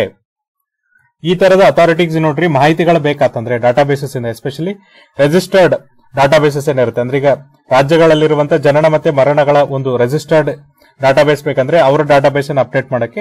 ಇಲ್ಲಿ ಏನಪ್ಪ ಅಂದ್ರೆ ಕಾನೂನನ್ನ ಅಥವಾ ಈ ಒಂದು ಲಾ ನ ಅಮೆಂಡ್ಮೆಂಟ್ ಮಾಡಬೇಕಾ? ಅಥವಾ ಎಕ್ಸಿಕ್ಯೂಟಿವ್ ಆರ್ಡರ್ ಮೂಲಕ ಅದನ್ನ ಮಾಡಬಹುದಾ ಅಂದ್ರೆ ನೋಡ್ರಿ ಕ್ವಶನ್ ಇರೋದೇನಪ್ಪ ಅಂದ್ರೆ ತಿದ್ದುಪಡಿಯನ್ನ ತರಬೇಕಾ? ಜಸ್ಟ್ ನೀವು ಒಂದು ಎಕ್ಸಿಕ್ಯೂಟಿವ್ ಆರ್ಡರ್ ಮೂಲಕ ಅದನ್ನ ಮಾಡಬಹುದು ಅಂತ ಇಲ್ಲಿ ಕೇಳ್ತಾ ಇದ್ದಾರೆ. ಆಮೇಲೆ ನೋಡ್ರಿ registration of birth and death act ಏನಿದೆಯಲ್ಲ ಇಲ್ಲೇನ್ ಹೇಳುತ್ತೆ ಅಂದ್ರೆ ಈ ಇನ್ಫಾರ್ಮೇಶನ್ಸ್ ಏನಿರುತ್ತೆ ಅಂದ್ರೆ ಈಗ ಡಾಟಾ ಇಂದ ನೋಡ್ರಿ. ದತ್ತಾಂಶ ಅನ್ನೋದೇನಪ್ಪ ಅಂದ್ರೆ ಒಂದು ಕಡೆಯಿಂದ ಇನ್ನೊಂದು ಕಡೆಗೆ ಈ ಮಾಹಿತಿ ಹಂಚಿಕೆ ಆಗ್ತಾ ಇರುತ್ತೆ. ಫಾರ್ ಎಕ್ಸಾಂಪಲ್ ನೋಡ್ರಿ, ಈಗ ಸ್ಟೇಟ್ ಲೆವೆಲ್ ಅಲ್ಲಿ ಡಾಟಾವನ್ನ ಕಲೆಕ್ಟ್ ಮಾಡಬೇಕಾದ್ರೂ ಫಸ್ಟ್ ಎಲ್ಲಿ ಹಾಸ್ಪಿಟಲ್ ಆಗಿರುತ್ತಲ್ಲ ಅಲ್ಲಿಂದ ತೆಗೆದುಕೊಂಡು ಅವ್ರು ಏನ್ ಮಾಡ್ತಾರೆ ಅಂದ್ರೆ ರಿಜಿಸ್ಟರ್ ಜನರಲ್ ಆಫ್ ಸ್ಟೇಟ್ ಅಥವಾ ಆ ರಾಜ್ಯ ಸರ್ಕಾರದಲ್ಲಿ ಏನು ಚೀಫ್ ರೆಜಿಸ್ಟರ್ ಇರ್ತಾರಲ್ಲ ಅವ್ರ ಆಫೀಸಿಗೆ ಅದೇನಾಗುತ್ತೆ ಅಂದ್ರೆ ಮಾಹಿತಿ ಹೋಗುತ್ತೆ. ಆ ತರದಂತಹ ಮಾಹಿತಿಯನ್ನ ನೀವೇನಪ್ಪ ಅಂದ್ರೆ ಕೇವಲ ಒಂದು ಎಕ್ಸಿಕ್ಯೂಟಿವ್ ಆರ್ಡರ್ ಮೂಲಕ ಕೊಡಬಹುದು ಇತ್ತು ಜೊತೆಗೆ ಈಗಿರುವಂತ registration of birth and death act ಏನಿದೆಲ್ಲ ಈ ತರದ ಇನ್ಫಾರ್ಮೇಶನ್ ಶೇರ್ ಮಾಡೋದಕ್ಕೆ ಅನುಕೂಲವನ್ನ ಮಾಡಿಕೊಡ್ತಿತ್ತು ಅಂತ ಹೇಳ್ತಿದ್ದಾರೆ.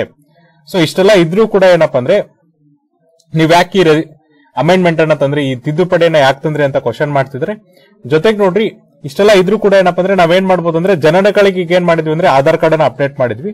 ಆದ್ರೆ ಡೆತ್ ರಿಜಿಸ್ಟ್ರೇಷನ್ ಏನಿದೆ ಎಸ್ಪೆಷಲಿ ಸಾರ್ವಜನಿಕ ಒಂದು ದಾಖಲೆಗಳಲ್ಲಿ ಡೆತ್ ರಿಜಿಸ್ಟ್ರೇಷನ್ಸ್ ಏನಿದೆಲ್ಲ ಅದನ್ನ ಇನ್ನೂ ಕೂಡ ಏನಪ್ಪಾ ಅಂದ್ರೆ ನಾವು ಕರೆಕ್ಟ್ ಆಗಿ ಇಲ್ಲಿ ನೋಂದಣಿಯನ್ನ ಮಾಡ್ತಾ ಇಲ್ಲ ಅಥವಾ ಕರೆಕ್ಟ್ ಆಗಿ ಇಲ್ಲಿ ದತ್ತಾಂಶವನ್ನ ಕಲೆಕ್ಟ್ ಮಾಡ್ತಿಲ್ಲ. ಈಗ ನೋಡ್ರಿ, ಈ ದತ್ತಾಂಶಕ್ಕೆ ಏನಪ್ಪಾ ಅಂದ್ರೆ ಹೊಸ ಹೊಸ ಲಿಸ್ಟ್ ಅನ್ನ ಆಡ್ ಮಾಡೋದು ಇನ್ನೂ ಕೂಡ ಡೇಂಜರಸ್ ಆಗಿರುತ್ತೆ. ಈಗ ಏನು ಪಾರ್ಲಿಮೆಂಟ್ ಅಥವಾ ಸಂಸತ್ ಅಪ್ರೂವಲ್ ಮಾಡಿದಿಲ್ಲ ಅದಕ್ಕಿಂತ ನೀವೇನಾದ್ರೂ ಹೊಸ ಲಿಸ್ಟ್ ಅನ್ನ ಪ್ರಿಪೇರ್ ಮಾಡ್ತಿದ್ರೆ ಅದು ತುಂಬಾ ಡೇಂಜರಸ್ ಆಗ್ತಿರುತ್ತೆ ಅಂತ ಹೇಳ್ತಿದ್ದಾರೆ. ನೋಡ್ರಿ, ಒಂದು ಉದಾಹರಣೆನ ಇಲ್ಲಿ ಕೊಡ್ತಾರೆ. ಸರ್ಕಾರ ನೋಡ್ರಿ ಇಲ್ಲಿ ಒಂದ್ ಏನ್ ಮಾಡುತ್ತೆ ಅಂದ್ರೆ ಡಿಸಿಷನ್ ಅನ್ನ ತೆಗೆದುಕೊಳ್ಳುತ್ತೆ. ಯಾವೆಲ್ಲ ಮಹಿಳೆಯರು ಏನಪ್ಪ ಅಂದ್ರೆ ಮೂರು ಅಥವಾ ಮೂರಕ್ಕಿಂತ ಹೆಚ್ಚಿನ ಮಕ್ಕಳಿಗೆ ಜನನವನ್ನ ಕೊಟ್ಟಿರ್ತಾರೆ. ಅಥವಾ ಯಾರೆಲ್ಲ ಮಹಿಳೆಯರು ಏನಪ್ಪ ಅಂದ್ರೆ ಮೂರು ಅಥವಾ ಮೂರಕ್ಕಿಂತ ಹೆಚ್ಚು ಮಕ್ಕಳನ್ನ ಹೊಂದಿರ್ತಾರಲ್ಲ ಅಂತವ್ರದ್ದು ಸಪರೇಟ್ ಆದಂತ ಡಾಟಾನ ನೀವು ಪ್ರಿಪೇರ್ ಮಾಡ್ರಿ, ಮತ್ತೆ ಆ ಡಾಟಾವನ್ನ ನೀವು ಏನ್ ಮಾಡ್ಬೇಕಪ್ಪ ಅಂದ್ರೆ ಫ್ಯಾಮಿಲಿ ವೆಲ್ಫೇರ್ ಡಿಪಾರ್ಟ್ಮೆಂಟ್ ಕೊಡ್ಬೇಕಂತ ಹೇಳಿದ್ರಂದ್ರೆ ನೋಡ್ರಿ ಯಾಕೆ ಈ ತರನಾಗಿ ಫ್ಯಾಮಿಲಿ ವೆಲ್ಫೇರ್ ಡಿಪಾರ್ಟ್ಮೆಂಟ್ ಕೊಡ್ಬೇಕಂದ್ರೆ ಫ್ಯಾಮಿಲಿ ಪ್ಲಾನಿಂಗ್ ಪ್ರೋಗ್ರಾಮ್ಸ್ಗೋಸ್ಕರ ಕೊಡ್ರಿ ಅಂತಂದ್ರೆ, ಅಲ್ಲಿ ಅವರು ಡಾಟಾ ಪ್ರೈವಸಿಗೆ ಧಕ್ಕೆ ಆಗುತ್ತೆ ಅಂತ ಹೇಳ್ತಿದ್ದಾರೆ. ಅಂದ್ರೆ ನೋಡ್ರಿ ಈ ಡಾಟಾ ಬೇಸಸ್ ಅಲ್ಲೂ ಕೂಡ ಏನಪ್ಪ ಅಂದ್ರೆ ಇವೇನಾದ್ರೂ ಅಡಿಷನ್ ಮಾಡಿದ್ರೆ ಲಿಸ್ಟ್ ಈಗ ಸಂಸತ್ ಏನ್ ಅಪ್ರೂವಲ್ ಮಾಡಿದಿಲ್ಲ, ಅದು ಬಿಟ್ಟು ಏನಾದ್ರೂ ಅಡಿಷನಲ್ ಮಾಡಿದ್ರೆ ಅಲ್ಲೇನಾಗುತ್ತಂದ್ರೆ ಈ ತರದ ಡೇಂಜರಸ್ ಕೂಡ ಇರುತ್ತಂತ ಅವರು ಹೇಳ್ತಿದ್ದಾರೆ. ಇನ್ನೊಂದು ಸಮಸ್ಯೆ ಇರೋದೇನಪ್ಪ ಅಂದ್ರೆ ಈ ಸರ್ಟಿಫಿಕೇಟ್ ಅಂದ್ರೆ ಕಾಸ್ ಆಫ್ ಡೆತ್ ಏನಾಯ್ತು, ಆ ಸರ್ಟಿಫಿಕೇಟ್ ಕೊಡೋದಿದೆಲ್ಲ ಅದೇ ಸಮಸ್ಯೆ ಆಗ್ತಿದೆ ಅಂತ ಹೇಳ್ತಿದ್ದಾರೆ. ಸೊ ನೋಡ್ರಿ ಈಗಿರುವಂತ ಸೌಲಭ್ಯಗಳನ್ನ ನೋಡ್ಕೊಂಡು ಏನಪ್ಪ ಅಂದ್ರೆ, ರಾಜ್ಯ ಸರ್ಕಾರಗಳ ಏನ್ ಮಾಡುತ್ತಂದ್ರೆ ಡಿಸೈಡ್ ಮಾಡುತ್ತೆ. ಕಾಸ್ ಆಫ್ ಡೆತ್ ಅಂದ್ರೆ, ಈಗ ನೋಡ್ರಿ, ಸಾವ್ ಯಾವ್ದಕ್ಕಾಯ್ತು ಅನ್ನೋ ಒಂದು ಸರ್ಟಿಫಿಕೇಟ್ ಬೇಕಲ್ಲ, ಆ ಸರ್ಟಿಫಿಕೇಟ್ ಏನೇನಪ್ಪ ಅಂದ್ರೆ ರಾಜ್ಯ ಸರ್ಕಾರಗಳಲ್ಲಿ ಡಿಸೈಡ್ ಮಾಡ್ತಾರೆ. ಸೊ ನೋಡ್ರಿ ರಾಜ್ಯ ಸರ್ಕಾರಗಳಿಗೆ ಏನ್ ಹೇಳ್ತಾರೆ ಅಂದ್ರೆ, ಇವುಗಳನ್ನ ಯಾರು ಕೊಡ್ಬೇಕಪ್ಪ ಅಂದ್ರೆ ಮೆಡಿಕಲ್ ಪ್ರಾಕ್ಟೀಸ್ನರ್ ಅಂದ್ರೆ, ಯಾರು ವೈದ್ಯಕೀಯ ವೃತ್ತಿಯನ್ನ ಮಾಡಿರ್ತಾರಲ್ಲ ಅವ್ರು ಕೊಡ್ಬೇಕಂತ ಹೇಳ್ತಿರ್ತಾರೆ. ಜೊತೆಗೆ ನೋಡ್ರಿ, ಯಾರು ಕೊಡ್ಬೇಕಪ್ಪ, ಯಾವ ವೈದ್ಯಕೀಯ ವೃತ್ತಿಗಳು ಯಾರು ವೈದ್ಯರು ಕೊಡ್ಬೇಕಂದ್ರೆ, ಯಾರು ಡಿಸೀಸ್ ಪರ್ಸನ್ ಅಂದ್ರೆ, ಯಾರು ಆ ವ್ಯಕ್ತಿನ ಅವಾಗ ಅವಾಗ ಚೆಕಪ್ ಮಾಡ್ತಿರ್ತಾರಲ್ಲ, ಅವರು ಕೊಡ್ಬೇಕಂತ ಹೇಳ್ತಿದ್ದಾರೆ. ಆಮೇಲೆ ನೋಡ್ರಿ, ಈ ಸರ್ಟಿಫಿಕೇಟ್ ಜೊತೆಗೆ ನೀವೇನ್ ಮಾಡ್ಬೇಕಂದ್ರೆ ಡೆತ್ ರಿಪೋರ್ಟ್ ಅನ್ನು ಸಹ ಕಳಿಸ್ಬೇಕಾಗತ್ತೆ ಅಂತ ಹೇಳ್ತಿದ್ದಾರೆ. ಆಮೇಲೆ ನೋಡ್ರಿ, ಯಾವ ಏರಿಯಾದಲ್ಲಿ ಅಥವಾ ಹಾಸ್ಪಿಟಲ್ ಈ ತರದ ಸರ್ಟಿಫಿಕೇಟ್ಸ್ ಇರುತ್ತಲ್ಲ ಅವುಗಳನ್ನ ಏನಪ್ಪ ಅಂದ್ರೆ ರಾಜ್ಯ ಸರ್ಕಾರಕ್ಕೆ ಕೊಡ್ಬೇಕಂತ ಹೇಳಿದ್ದಾರೆ. ಆಮೇಲೆ ನೋಡ್ರಿ ಇದನ್ನ ರೆಸ್ಟ್ರಿಕ್ಟೆಡ್ ಯಾವ್ದಕ್ಕೋಸ್ಕರ ಮಾಡಿದ್ರೆ ಅಂದ್ರೆ ಡೆತ್ ಈಗ ನೋಡ್ರಿ, ಸಾವ್ ಯಾವ್ದಕ್ಕಾಗುತ್ತೆ ಮೆಡಿಕಲ್ ಇನ್ಸ್ಟಿಟ್ಯೂಷನ್ಸ್ ಅನ್ನೋದಕ್ಕೆ ನೀವೇನ್ ಮಾಡ್ಬೇಕಂದ್ರೆ ಈ ಒಂದು ಸರ್ಟಿಫಿಕೇಟ್ಸ್ನ ಕೊಡ್ಬೇಕಂತ ಹೇಳ್ತಾರೆ. ಆದ್ರೆ ಈ ಒಂದು ತಿದ್ದುಪಡಿ ಏನ್ ಮಾಡಿದೆಪ್ಪ ಅಂದ್ರೆ ಕಂಪಲ್ಸರಿ ಆಗಿ ನೀವು ಡೆತ್ ಸರ್ಟಿಫಿಕೇಟ್ ಅನ್ನ ಕೊಡ್ಬೇಕಂತ ಹೇಳಿದ್ದಾರೆ. ಇನ್ ಕೇಸ್ ನೋಡ್ರಿ, ನಿಮ್ದು ಮೆಡಿಕಲ್ ಇನ್ಸ್ಟಿಟ್ಯೂಷನ್ಸ್ ಅಲ್ಲಿ ಏನಾದ್ರೂ ಸಾವುಗಳಾದ್ರೆ, ಆ ಮೆಡಿಕಲ್ ಇನ್ಸ್ಟಿಟ್ಯೂಷನ್ಸ್ ಅಲ್ಲಿ ಸಾವಾದ್ರೆ ಯಾಕೆ ಸಾವಾಯ್ತು? What is the cause of death ಈಗ ನೋಡ್ರಿ, ನಾನೊಂದು ಹಾಸ್ಪಿಟಲ್ಗೆ ಒಬ್ಬರನ್ನ ಕರ್ಕೊಂಡು ಹೋಗಿರ್ತೀನಿ, ಅಲ್ಲಿ ಅವ್ರು ಸಾವ ಆಗುತ್ತಂದ್ರೆ ಅವ್ರು ಯಾಕೆ ಸತ್ರು? ಅನ್ನೋದಕ್ಕೆ ಏನ್ ಕಾಸ್ ಆಫ್ ಡೆತ್ ಸರ್ಟಿಫಿಕೇಟ್ ಇರುತ್ತಲ್ಲ, ಆ ಸರ್ಟಿಫಿಕೇಟ್ನ ಕೊಡ್ಬೇಕಂತ ಹೇಳ್ತಾರೆ. ಆಮೇಲೆ ನೋಡ್ರಿ, ಇದನ್ನ ಏನ್ ಮಾಡ್ಬೇಕಪ್ಪ ಅಂದ್ರೆ register of birth and deaths ಇದೆಯಲ್ಲ, ಅವರಿಗೆ ಕಳಿಸ್ಬೇಕು. ಜೊತೆಗೆ ಈ ಒಂದು ಸರ್ಟಿಫಿಕೇಟ್ ಕಾಪಿಯನ್ನು ಕೂಡ ನೀವ್ ಏನ್ ಮಾಡ್ಬೇಕಂದ್ರೆ ಕ್ಲೋಸೆಸ್ಟ್ ರಿಲೇಟಿವ್ ಕೂಡ ಕೊಡಬೇಕು. ಅಂದ್ರೆ ನೋಡ್ರಿ, ಅವನ ಸಂಬಂಧಿ ಯಾರಿದ್ದಾನೆ ಅಥವಾ ಕ್ಲೋಸೆಸ್ಟ್ ರಿಲೇಟಿವ್ ಯಾವಿದಾನಲ್ಲ ಅವನಿಗೆ ನೀವೇನ್ ಮಾಡ್ಬೇಕಪ್ಪ ಅಂದ್ರೆ, ಈ ಒಂದು ಸರ್ಟಿಫಿಕೇಟ್ನ ಒಂದು ಕಾಪಿಯನ್ನ ಕೊಡಬೇಕು. ಒರಿಜಿನಲ್ ಅನ್ನ ನೀವು ರಿಜಿಸ್ಟರ್ಡ್ ಆಫ್ ಬರ್ತ್ ಅಂಡ್ ಡೆತ್ಗೆ ಕಳಿಸಿದ್ರೆ ಈ ಒಂದು ಕಾಪಿಯನ್ನು ಏನಪ್ಪ ಅಂದ್ರೆ ಕ್ಲೋಸೆಸ್ಟ್ ರಿಲೇಟಿವ್ಗೆ ಕೊಡ್ಬೇಕಂತ ಹೇಳ್ತಿದ್ದಾರೆ. ಈಗ ಇನ್ನೊಂದು ಡೌಟ್ ಇರೋದೇನಪ್ಪ ಅಂದ್ರೆ ಈಗ ಹಾಸ್ಪಿಟಲ್ ಆದ್ರೆ ಅಲ್ಲಿ ನಿಮ್ಗೆ ಏನಿರುತ್ತೆ ಅಂದ್ರೆ ಸೌಲಭ್ಯಗಳಿರುತ್ತೆ ಕಾಸ್ ಆಫ್ ಡೆತ್ ಎಲ್ಲ ಹೇಳ್ಬೋದು. ಆದ್ರೆ ನೋಡ್ರಿ, ಈಗ ಸಾವುಗಳೇನಪ್ಪ ಅಂದ್ರೆ ಆಸ್ಪತ್ರೆ ಬಿಟ್ಟು ಹೊರಗಡೆ ಆದ್ರೆ ಮನೇಲಿ ಆಯ್ತು ಅಥವಾ ಹೋಟೆಲ್ ಅಲ್ಲಿ ಆಯ್ತು, ಬೇರೆ ಕಡೆ ಆಯ್ತು ಅಂದ್ರೆ ಅವಾಗ ಏನ್ ಮಾಡ್ಬೇಕು ಅನ್ನೋದೇ ಒಂದು ಕ್ವಶನ್ ಆಗಿದೆ. ಸೊ ನೋಡ್ರಿ, ಅದಕ್ಕೆಲ್ಲ ಏನ್ ಹೇಳ್ತಿದ್ದಾರೆ ಅಂದ್ರೆ ಇನ್ ಕೇಸ್ ನೋಡ್ರಿ ಹಾಸ್ಪಿಟಲ್ ಔಟ್ಸೈಡ್ ಏನಾದ್ರು ಸಾವುಗಳಾದ್ರೆ ಅಲ್ಲೇನ್ ಮಾಡ್ಬೇಕಂದ್ರೆ ಆ ಡಿಸೀಸ್ಡ್ ಪರ್ಸನ್ ಅನ್ನ ರೀಸೆಂಟ್ ಆಗಿ ಯಾರು ನೋಡಿರ್ತಾರೆ? ಅಂದ್ರೆ ನೋಡ್ರಿ, ಆ ವ್ಯಕ್ತಿ ಸಾಯೋದಕ್ಕಿಂತ ಮುಂಚೆ ಯಾವ ಡಾಕ್ಟರ್ ಅವ್ರು ನೋಡಿರ್ತಾರಲ್ಲ ಅವ್ರೇನ್ ಮಾಡ್ಬೇಕಂದ್ರೆ ಆ ಮನೆಗೆ ಭೇಟಿ ಕೊಟ್ಟು ಅಲ್ಲಿ ಏನ್ ಮಾಡ್ಬೇಕಪ್ಪ ಅಂದ್ರೆ ಒಂದು ಸರ್ಟಿಫಿಕೇಟ್ ಅನ್ನ ಕೊಡಬೇಕಾಗತ್ತೆ ಅಂತ ಹೇಳ್ತಿದ್ದಾರೆ. ಈಗ ನೋಡ್ರಿ, ಒಬ್ಬ ವ್ಯಕ್ತಿಗೆ ಹುಷಾರಿಲ್ಲ, ಅವನಿಗೆ ಪದೇ ಪದೇ ಚಿಕಿತ್ಸೆಯನ್ನ ಕೊಡ್ತಿದ್ರಂದ್ರೆ ಆ ಒಂದು ವೈದ್ಯರು ಮನೆಗೆ ಭೇಟಿಯನ್ನ ಕೊಟ್ಟು ಅವನಿಗೆ ಕಾಸ್ ಆಫ್ ಡೆತ್ ಏನಿತ್ತು? ಅಂದ್ರೆ ಅವ್ರು ನೋಡ್ಕೊಂಡಿರ್ತಾರಲ್ಲ, ಯಾಕೆ ಅವ್ರ ಸತ್ರು ಅನ್ನೋ ಒಂದು ಸರ್ಟಿಫಿಕೇಟ್ ಅನ್ನ ಕೊಡಬೇಕಂತ ಹೇಳ್ತಿದ್ದಾರೆ. ಆದ್ರೆ ನೋಡ್ರಿ, ಇಲ್ಲಿ ನಮಗೆ ಏನಪ್ಪಾ ಅಂದ್ರೆ ಸಮಸ್ಯೆಗಳು ಕಾಣ್ತಾ ಇದೆ. ಸೊ ನೋಡ್ರಿ, ಇಲ್ಲೇನ್ ಸಮಸ್ಯೆಗಳಿದೆ ಅಂತ ನಾವು ನೋಡೋದಾದ್ರೆ, ಮೊದಲನೇ ಸಮಸ್ಯೆ ಏನಪ್ಪ ಅಂದ್ರೆ ಯಾವ ಒಂದು ಮೆಡಿಕಲ್ ಪ್ರಾಕ್ಟೀಸರ್ ನೋಡ್ರಿ, ಈ ತರದ ಒಂದು ಪರ್ಸನ್ ಯಾಕೆ ಸತ್ತಿದಾನೆ ಅಂತ ಸರ್ಟಿಫಿಕೇಟ್ ಕೊಡ್ತಾರಲ್ಲ, ಅವ್ರು ಯಾವಾಗ್ಲೂ ಕೂಡ ಏನಪ್ಪ ಅಂದ್ರೆ ಡೆಫಿನೆಟ್ ಡಯಾಗ್ನೋಸಿಸ್ ಅಂದ್ರೆ ಇದರಿಂದನೇ ಅವ್ರು ಸತ್ತಿದ್ದಾರೆ ಅಂತ ಕರೆಕ್ಟ್ ಆಗಿ ಅವ್ರಿಗೆ ಹೇಳಕ್ಕಾಗಲ್ಲ. ಇದು ನಮಗೆ ಮೊದಲನೇ ಸಮಸ್ಯೆ ಆಗುತ್ತೆ. ಎರಡನೇ ಸಮಸ್ಯೆ ನೋಡ್ರಿ, ನಮ್ಮಲ್ಲೇನು ಕಾಸ್ ಆಫ್ ಡೆತ್ ಸರ್ಟಿಫಿಕೇಟ್ ಕೊಡ್ತಾರಲ್ಲ, ಈ ಮೆಡಿಕಲ್ ಪ್ರಾಕ್ಟೀಸರ್ಸ್ ಇದು ಆಲ್ವೇಸ್ ಏನಾಗಿದೆ ಅಂದ್ರೆ ವಿಶ್ವ ಆರೋಗ್ಯ ಸಂಸ್ಥೆ, ಅಥವಾ ವರ್ಲ್ಡ್ ಹೆಲ್ತ್ ಆರ್ಗನೈಸೇಷನ್ ಏನಿದೆಲ್ಲ ಇವರ ಒಂದು ಶಿಫಾರಸುಗಳ ವಿರುದ್ಧವಾಗಿದೆ ಅಂತ ಹೇಳ್ತಿದ್ದಾರೆ. ಸೊ ನೋಡ್ರಿ conformity to world health organisations ಅಂದ್ರೆ ಇವರ ಒಂದು ಶಿಫಾರಸುಗಳ ವಿರುದ್ಧವಾಗಿದೆ ಅಂತ ಹೇಳ್ತಿದ್ದಾರೆ. ಯಾವ ತರನಾಗಿ ವಿರುದ್ಧವಾಗಿದೆಯಪ್ಪ ಅಂದ್ರೆ, ಈಗ ನೋಡ್ರಿ, ಆ ಸತ್ತಂತ ವ್ಯಕ್ತಿನ ಏನಾದ್ರು ನೋಡ್ರಿ, ಯಾವೊಂದು ಮೆಡಿಕಲ್ ಪ್ರಾಕ್ಟೀಸರ್ ಅಪ್ಪ ಅಂದ್ರೆ, ಆಯುಷ್ ಮೆಡಿಕಲ್ ಪ್ರಾಕ್ಟೀಸರ್ಸ್ ಆಯುಷ್ ಅಂತ ನೋಡ್ರಿ ಆಯುರ್ವೇದ, ಯೋಗ ನ್ಯಾಚುರೋಪತಿ ಯುನಾನಿ, ಸಿದ್ಧ. ಈಗ ಸಿದ್ಧನ ನಾವೇನಂತ ಕರಿತೀವಿ ಅಂದ್ರೆ ರಿಗ್ಬಾ ಅಂತ ಕರಿತೀವಿ ಅಥವಾ ಹೋಮಿಯೋಪ ರಿಗ್ಬಾ ಅಂಡ್ ಹೋಮಿಯೋಪತಿ ಅಂತ ಕರಿತೀವಿ. ಈ ಡಾಕ್ಟರ್ಸ್ ಏನಾದ್ರು ಅಟೆಂಡ್ ಮಾಡಿದ್ರೆ ಅವ್ರೇನ್ ಕಾಸ್ ಆಫ್ ಡೆತ್ ಸರ್ಟಿಫಿಕೇಟ್ ಕೊಡ್ತಾರಲ್ಲ, ಈ ಕಾಸ್ ಆಫ್ ಡೆತ್ ಸರ್ಟಿಫಿಕೇಟ್ ಏನಿದೆಲ್ಲ ಇದನ್ನೇನಪ್ಪ ಅಂದ್ರೆ ಅಂತಾರಾಷ್ಟ್ರೀಯವಾಗಿ ಈ ಇಂಟರ್ನ್ಯಾಷನಲ್ ಕ್ಲಾಸಿಫಿಕೇಶನ್ ಆಫ್ ಡಿಸೀಸ್ ಒಳಗಡೆ ಏನಪ್ಪ ಅಂದ್ರೆ ಈ ಕಾಸ್ ಆಫ್ ಡೆತ್ ಸರ್ಟಿಫಿಕೇಟ್ ಅನ್ನ ಮಾನ್ಯ ಮಾಡೋದಿಲ್ಲ ಅಂತ ಹೇಳ್ತಿದ್ದಾರೆ. ಯಾಕಂದ್ರೆ ನೋಡ್ರಿ ಈ ಸರ್ಟಿಫಿಕೇಟ್ ಏನ್ ಕೊಡ್ತಾರಲ್ಲ, ಇದು ಏನಪ್ಪ ಅಂದ್ರೆ ಇಂಟರ್ನ್ಯಾಷನಲ್ ಕ್ಲಾಸಿಫಿಕೇಶನ್ ಆಫ್ ಡಿಸೀಸ್ ಏನ್ ಸ್ಟಾಟಿಸ್ಟಿಕ್ಸ್ ಯೂಸ್ ಮಾಡ್ತಾರಲ್ಲ, ಅಲ್ಲಿ ಇದನ್ನ ಮಾನ್ಯ ಮಾಡಲ್ಲ. ಅದರ ವಿರುದ್ಧವಾಗಿದೆ ಅಥವಾ ಅಲ್ಲಿ ಮಾನ್ಯ ಮಾಡೋ ತರನಾಗಿ ಇವ್ರು ಏನ್ ಮಾಡಲ್ಲ ಅಂದ್ರೆ ಸರ್ಟಿಫಿಕೇಟ್ನ ಕೊಡಲ್ಲ. ಇದು ನಮ್ಗೆ ಏನಾಗಿದೆ ಅಂದ್ರೆ ಎರಡನೇ ಸಮಸ್ಯೆ ಆಗಿದೆ. ಇಲ್ಲಿ ಮೂರನೇ ಸಮಸ್ಯೆ ಇರೋದೇನಪ್ಪ ಅಂದ್ರೆ, ಈಗ ನೋಡ್ರಿ, ಒಬ್ಬ ವ್ಯಕ್ತಿಗೆ ಒಂದು ರೋಗಕ್ಕೆ ನಾವೇನಂದ್ರೆ ಚಿಕಿತ್ಸೆಯನ್ನ ಕೊಡ್ತಿರ್ತೀವಿ. ಆದ್ರೆ ಅವನ ಕಾಸ್ ಆಫ್ ಡೆತ್ ಏನಿರುತ್ತೆ ಅಂದ್ರೆ ಕಂಪ್ಲೀಟ್ ಆಗಿ ಔಟ್ಸೈಡ್ ಇರುತ್ತೆ. ಅಂದ್ರೆ ನೋಡ್ರಿ, ಒಬ್ಬ ವ್ಯಕ್ತಿಗೆ ಏನಪ್ಪ ಅಂದ್ರೆ ಒಂದು ರೋಗದ ವಿರುದ್ಧವಾಗಿ ಚಿಕಿತ್ಸೆನ ತೆಗೆದುಕೊಳ್ತಿರ್ತಾನೆ. ಅವನಿಗೆ ಬೇರೆ ಒಂದು ರೋಗ ಬಂದು ಸಡನ್ ಆಗಿ ಹಾರ್ಟ್ ಅಟ್ಯಾಕ್ ಆಗಿ ಸತ್ತ, ಏನೋ ಆಗಿ ಸತ್ತ ಅಂತಂದ್ರೆ ಅವಾಗ ಮೆಡಿಕಲ್ ಫೆಸಿಲಿಟಿ ಹೊರಗಡೆ ಇರ್ತೀವಿ. ಯಾಕಂದ್ರೆ ನೋಡ್ರಿ, ಅವ್ನ ಹಾಸ್ಪಿಟಲ್ ತೆಗೆದುಕೊಂಡು ಹೋಗೋದಕ್ಕಿಂತ ಮುಂಚೆ ಮನೆಯಲ್ಲೇ ಸಾವಾಗಿರುತ್ತೆ, ಬೇರೆ ಕಡೆ ಸಾವಾಗಿರುತ್ತೆ. ಅಂತ ಸಮಯದಲ್ಲಿ ಏನಪ್ಪಾ ಅಂದ್ರೆ ಮೆಡಿಕಲ್ ಪ್ರಾಕ್ಟೀಸರ್ ಯಾರಿದಾರಲ್ಲ ಅವ್ರಿಗೆ ಏನಂದ್ರೆ ಸಮಾಲೋಚನೆ ಮಾಡಿದ್ರು ಕೂಡ ಏನಪ್ಪಾ ಅಂದ್ರೆ ಅವ್ರಿಗೆ ಯಾವ್ದ್ರ ಮೇಲೆ ಕಾಸ್ ಆಫ್ ಡೆತ್ ಸರ್ಟಿಫಿಕೇಟ್ ಕೊಡ್ಬೇಕು ಅನ್ನೋದು ಕನ್ಫ್ಯೂಷನ್ಸ್ ಆಗುತ್ತೆ. ಯಾಕಂದ್ರೆ ನೋಡ್ರಿ ರೆಗ್ಯುಲರ್ ಆಗಿ ಒಂದ್ ರೋಗಕ್ಕೆ ಅವನ ಏನಪ್ಪಾ ಅಂದ್ರೆ ಚಿಕಿತ್ಸೆಯನ್ನ ಪಡಿತಾ ಇದ್ದ. ಆದ್ರೆ ಅವನಿಗೆ ಸಾವಿಗೆ ಇನ್ನೊಂದು ಕಾರಣವಾದಂತ ರೋಗ ಇತ್ತಂದ್ರೆ, ಇಲ್ಲಿ ವೈದ್ಯರು ಯಾವ ರೋಗಕ್ಕೆ ಅವನಿಗೆ ಕಾಸ್ ಆಫ್ ಡೆತ್ ಸರ್ಟಿಫಿಕೇಟ್ ಕೊಡಬೇಕು? ಅವ್ನ್ ರೆಗ್ಯುಲರ್ ಟ್ರೀಟ್ಮೆಂಟ್ ತೆಗೆದು ಕೊಡಬೇಕಾ ಅಥವಾ ರಿಯಲ್ ಆಗಿ ಯಾವ್ದಕ್ ಸಾವಾಗಿದೆಯಲ್ಲ ಅದು ಕೊಡಬೇಕಾ ಅನ್ನೋದಕ್ಕೆ ಏನಾಗಿದೆ ಅಂದ್ರೆ ದ್ವಂದ್ವವಾಗಿದೆ. ಇಲ್ಲಿ ನಾಲ್ಕನೇ ಸಮಸ್ಯೆ ಏನಿದೆ ನೋಡ್ರಿ ಸೆಕ್ಷನ್ ಸೆವೆಂಟೀನ್ ಏನ್ ಹೇಳತ್ತಪ್ಪ ಅಂದ್ರೆ ಈ ಒಂದು ಆಕ್ಟಿನ ಪ್ರಕಾರ ಈ ಕಾಸ್ ಆಫ್ ಡೆತ್ ಏನಿದೆಯಲ್ಲ ಯಾವುದೇ ಸರ್ಟಿಫಿಕೇಟ್ ಕೊಡಬೇಕಾದ್ರೂ ಕೂಡ ಏನಪ್ಪ ಅಂದ್ರೆ ಕಾಸ್ ಆಫ್ ಡೆತ್ ಅನ್ನ ನೀವು ಮೆನ್ಷನ್ ಮಾಡಬಾರ್ದು ಅಂತ ಹೇಳ್ತಾರೆ. ಅಂದ್ರೆ ಈ ಒಂದು registration of birth and death acts ಏನಿದೆಯಲ್ಲ ನೈನ್ಟೀನ್ ಸಿಕ್ಸ್ಟಿ ನೈನ್ ಪ್ರಕಾರ ಯಾವುದೇ ಒಂದು ಸಾವಾದ್ರೂ ಆ ಸಾವಿನ ಕಾರಣ ಏನು? ಕಾಸ್ ಆಫ್ ಡೆತ್ ಅನ್ನ ನೀವೇನಪ್ಪ ಅಂದ್ರೆ ಯಾವುದೇ ಸರ್ಟಿಫಿಕೇಟ್ ಅಲ್ಲೂ ಕೂಡ ನೀವು ಮೆನ್ಷನ್ ಮಾಡಬಾರ್ದು ಅಂತ ಹೇಳ್ತಾರೆ.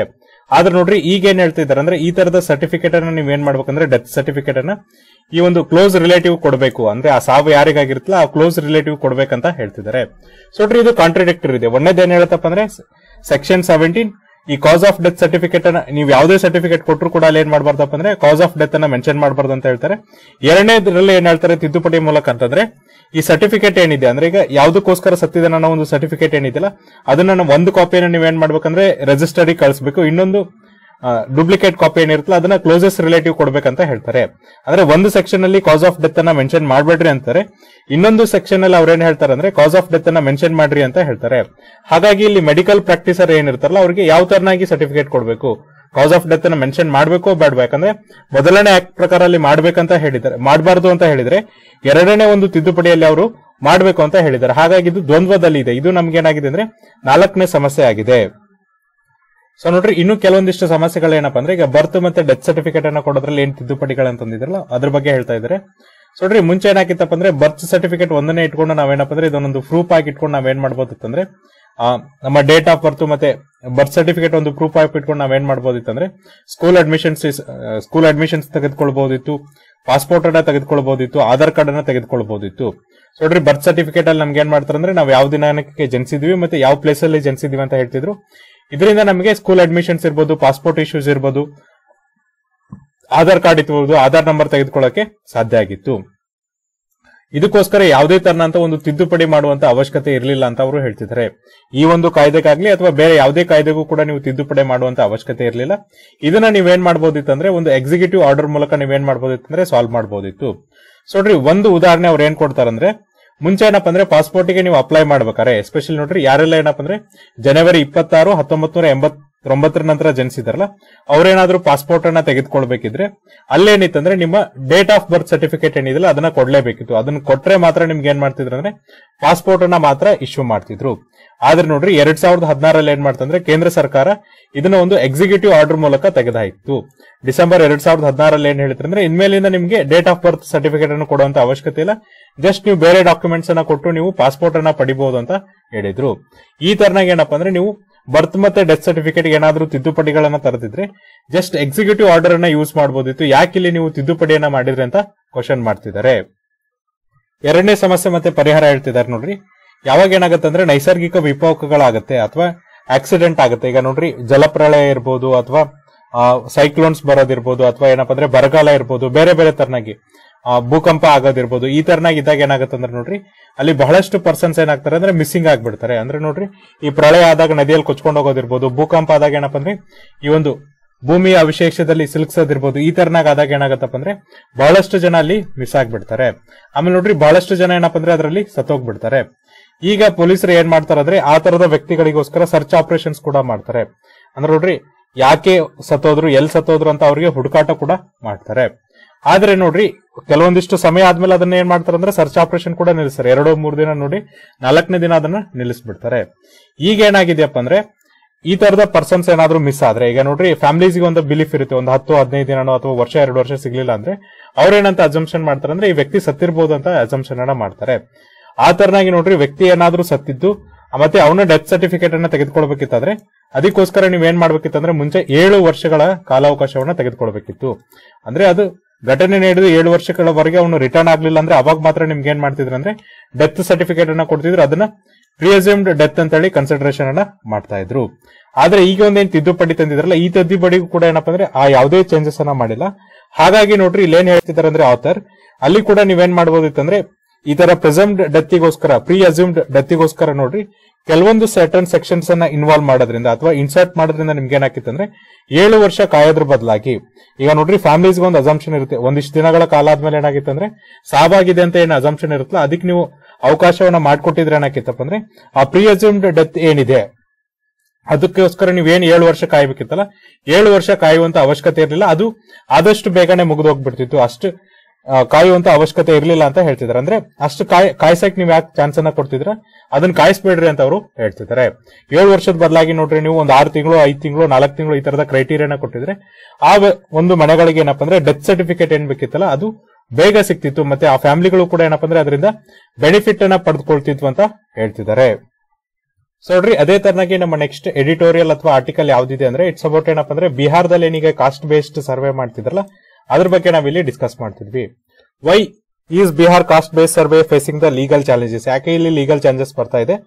Why the union government is against the caste census ಅಂದ್ರೆ ಕೇಂದ್ರ ಸರ್ಕಾರದವರು ಈ ಕಾಸ್ಟ್ ಸೆನ್ಸಸ್ ವಿರುದ್ಧವಾಗಿ ಯಾಕಿದ್ದಾರೆ why did the Patna high court uphold the surveys ಅಂದ್ರೆ ನೋಡ್ರಿ ಪಟ್ನಾ ಹೈಕೋರ್ಟ್ ಅವರು ಆ ಸರ್ವೇಸ್ಗೆ ಯಾಕೆ ಅನುಮತಿಯನ್ನ ಕೊಟ್ಟರು ಅನ್ನೋದ್ರ ಬಗ್ಗೆ ನಾವಿಲ್ಲಿ ಡಿಸ್ಕಸ್ ಮಾಡ್ತಿದೀವಿ ಸುಪ್ರೀಂ ಕೋರ್ಟ್ ನೋಡ್ರಿ ಈಗ ಏನಪ್ಪಾ ಅಂದ್ರೆ ಇವತ್ತು ಆಗಸ್ಟ್ ಹದಿನೆಂಟನೇ ತಾರೀಕು ಏನಪ್ಪ ಅಂದ್ರೆ ಈ ಒಂದು ಪಟ್ನಾ ಹೈಕೋರ್ಟ್ ನಿರ್ಧಾರ ಏನಿದೆ ಎಸ್ಪೆಷಲಿ ಈ ಕಾಸ್ಟ್ ಬೇಸ್ಡ್ ಸೆನ್ಸಸ್ಗೆ ಅವ್ರೇನ್ ಪರ್ಮಿಷನ್ಸ್ ಕೊಟ್ಟಿದ್ರಲ್ಲ, ಅದರ ಹಿಯರಿಂಗ್ ಮಾಡೋದಕ್ಕೆ ಇವತ್ತು ತಗೊಳ್ತಾ ಇದೆ. ಜೊತೆಗೆ ನೋಡ್ರಿ ಈ ವರ್ಡಿಂಗ್ಸ್ ಏನಿದೆ ಎಸ್ಪೆಷಲಿ ಏನಪ್ಪ ಅಂದ್ರೆ ಏನ್ ವರ್ಡಿಕ್ಟ್ ಇತ್ತಂದ್ರೆ ಕಾಸ್ಟ್ ಬೇಸ್ ಸೆನ್ಸಸ್ಗೆ ಪಟ್ನಾ ಹೈಕೋರ್ಟ್ ಏನು ಅನುಮತಿಯನ್ನು ಕೊಟ್ಟಿತ್ತಲ್ಲ, ಅದ್ರ ಬಗ್ಗೆ ಈಗ ಏನಂದ್ರೆ ಇವತ್ತು ಸುಪ್ರೀಂ ಕೋರ್ಟ್ ನಿರ್ಧಾರ ಮಾಡುತ್ತೆ.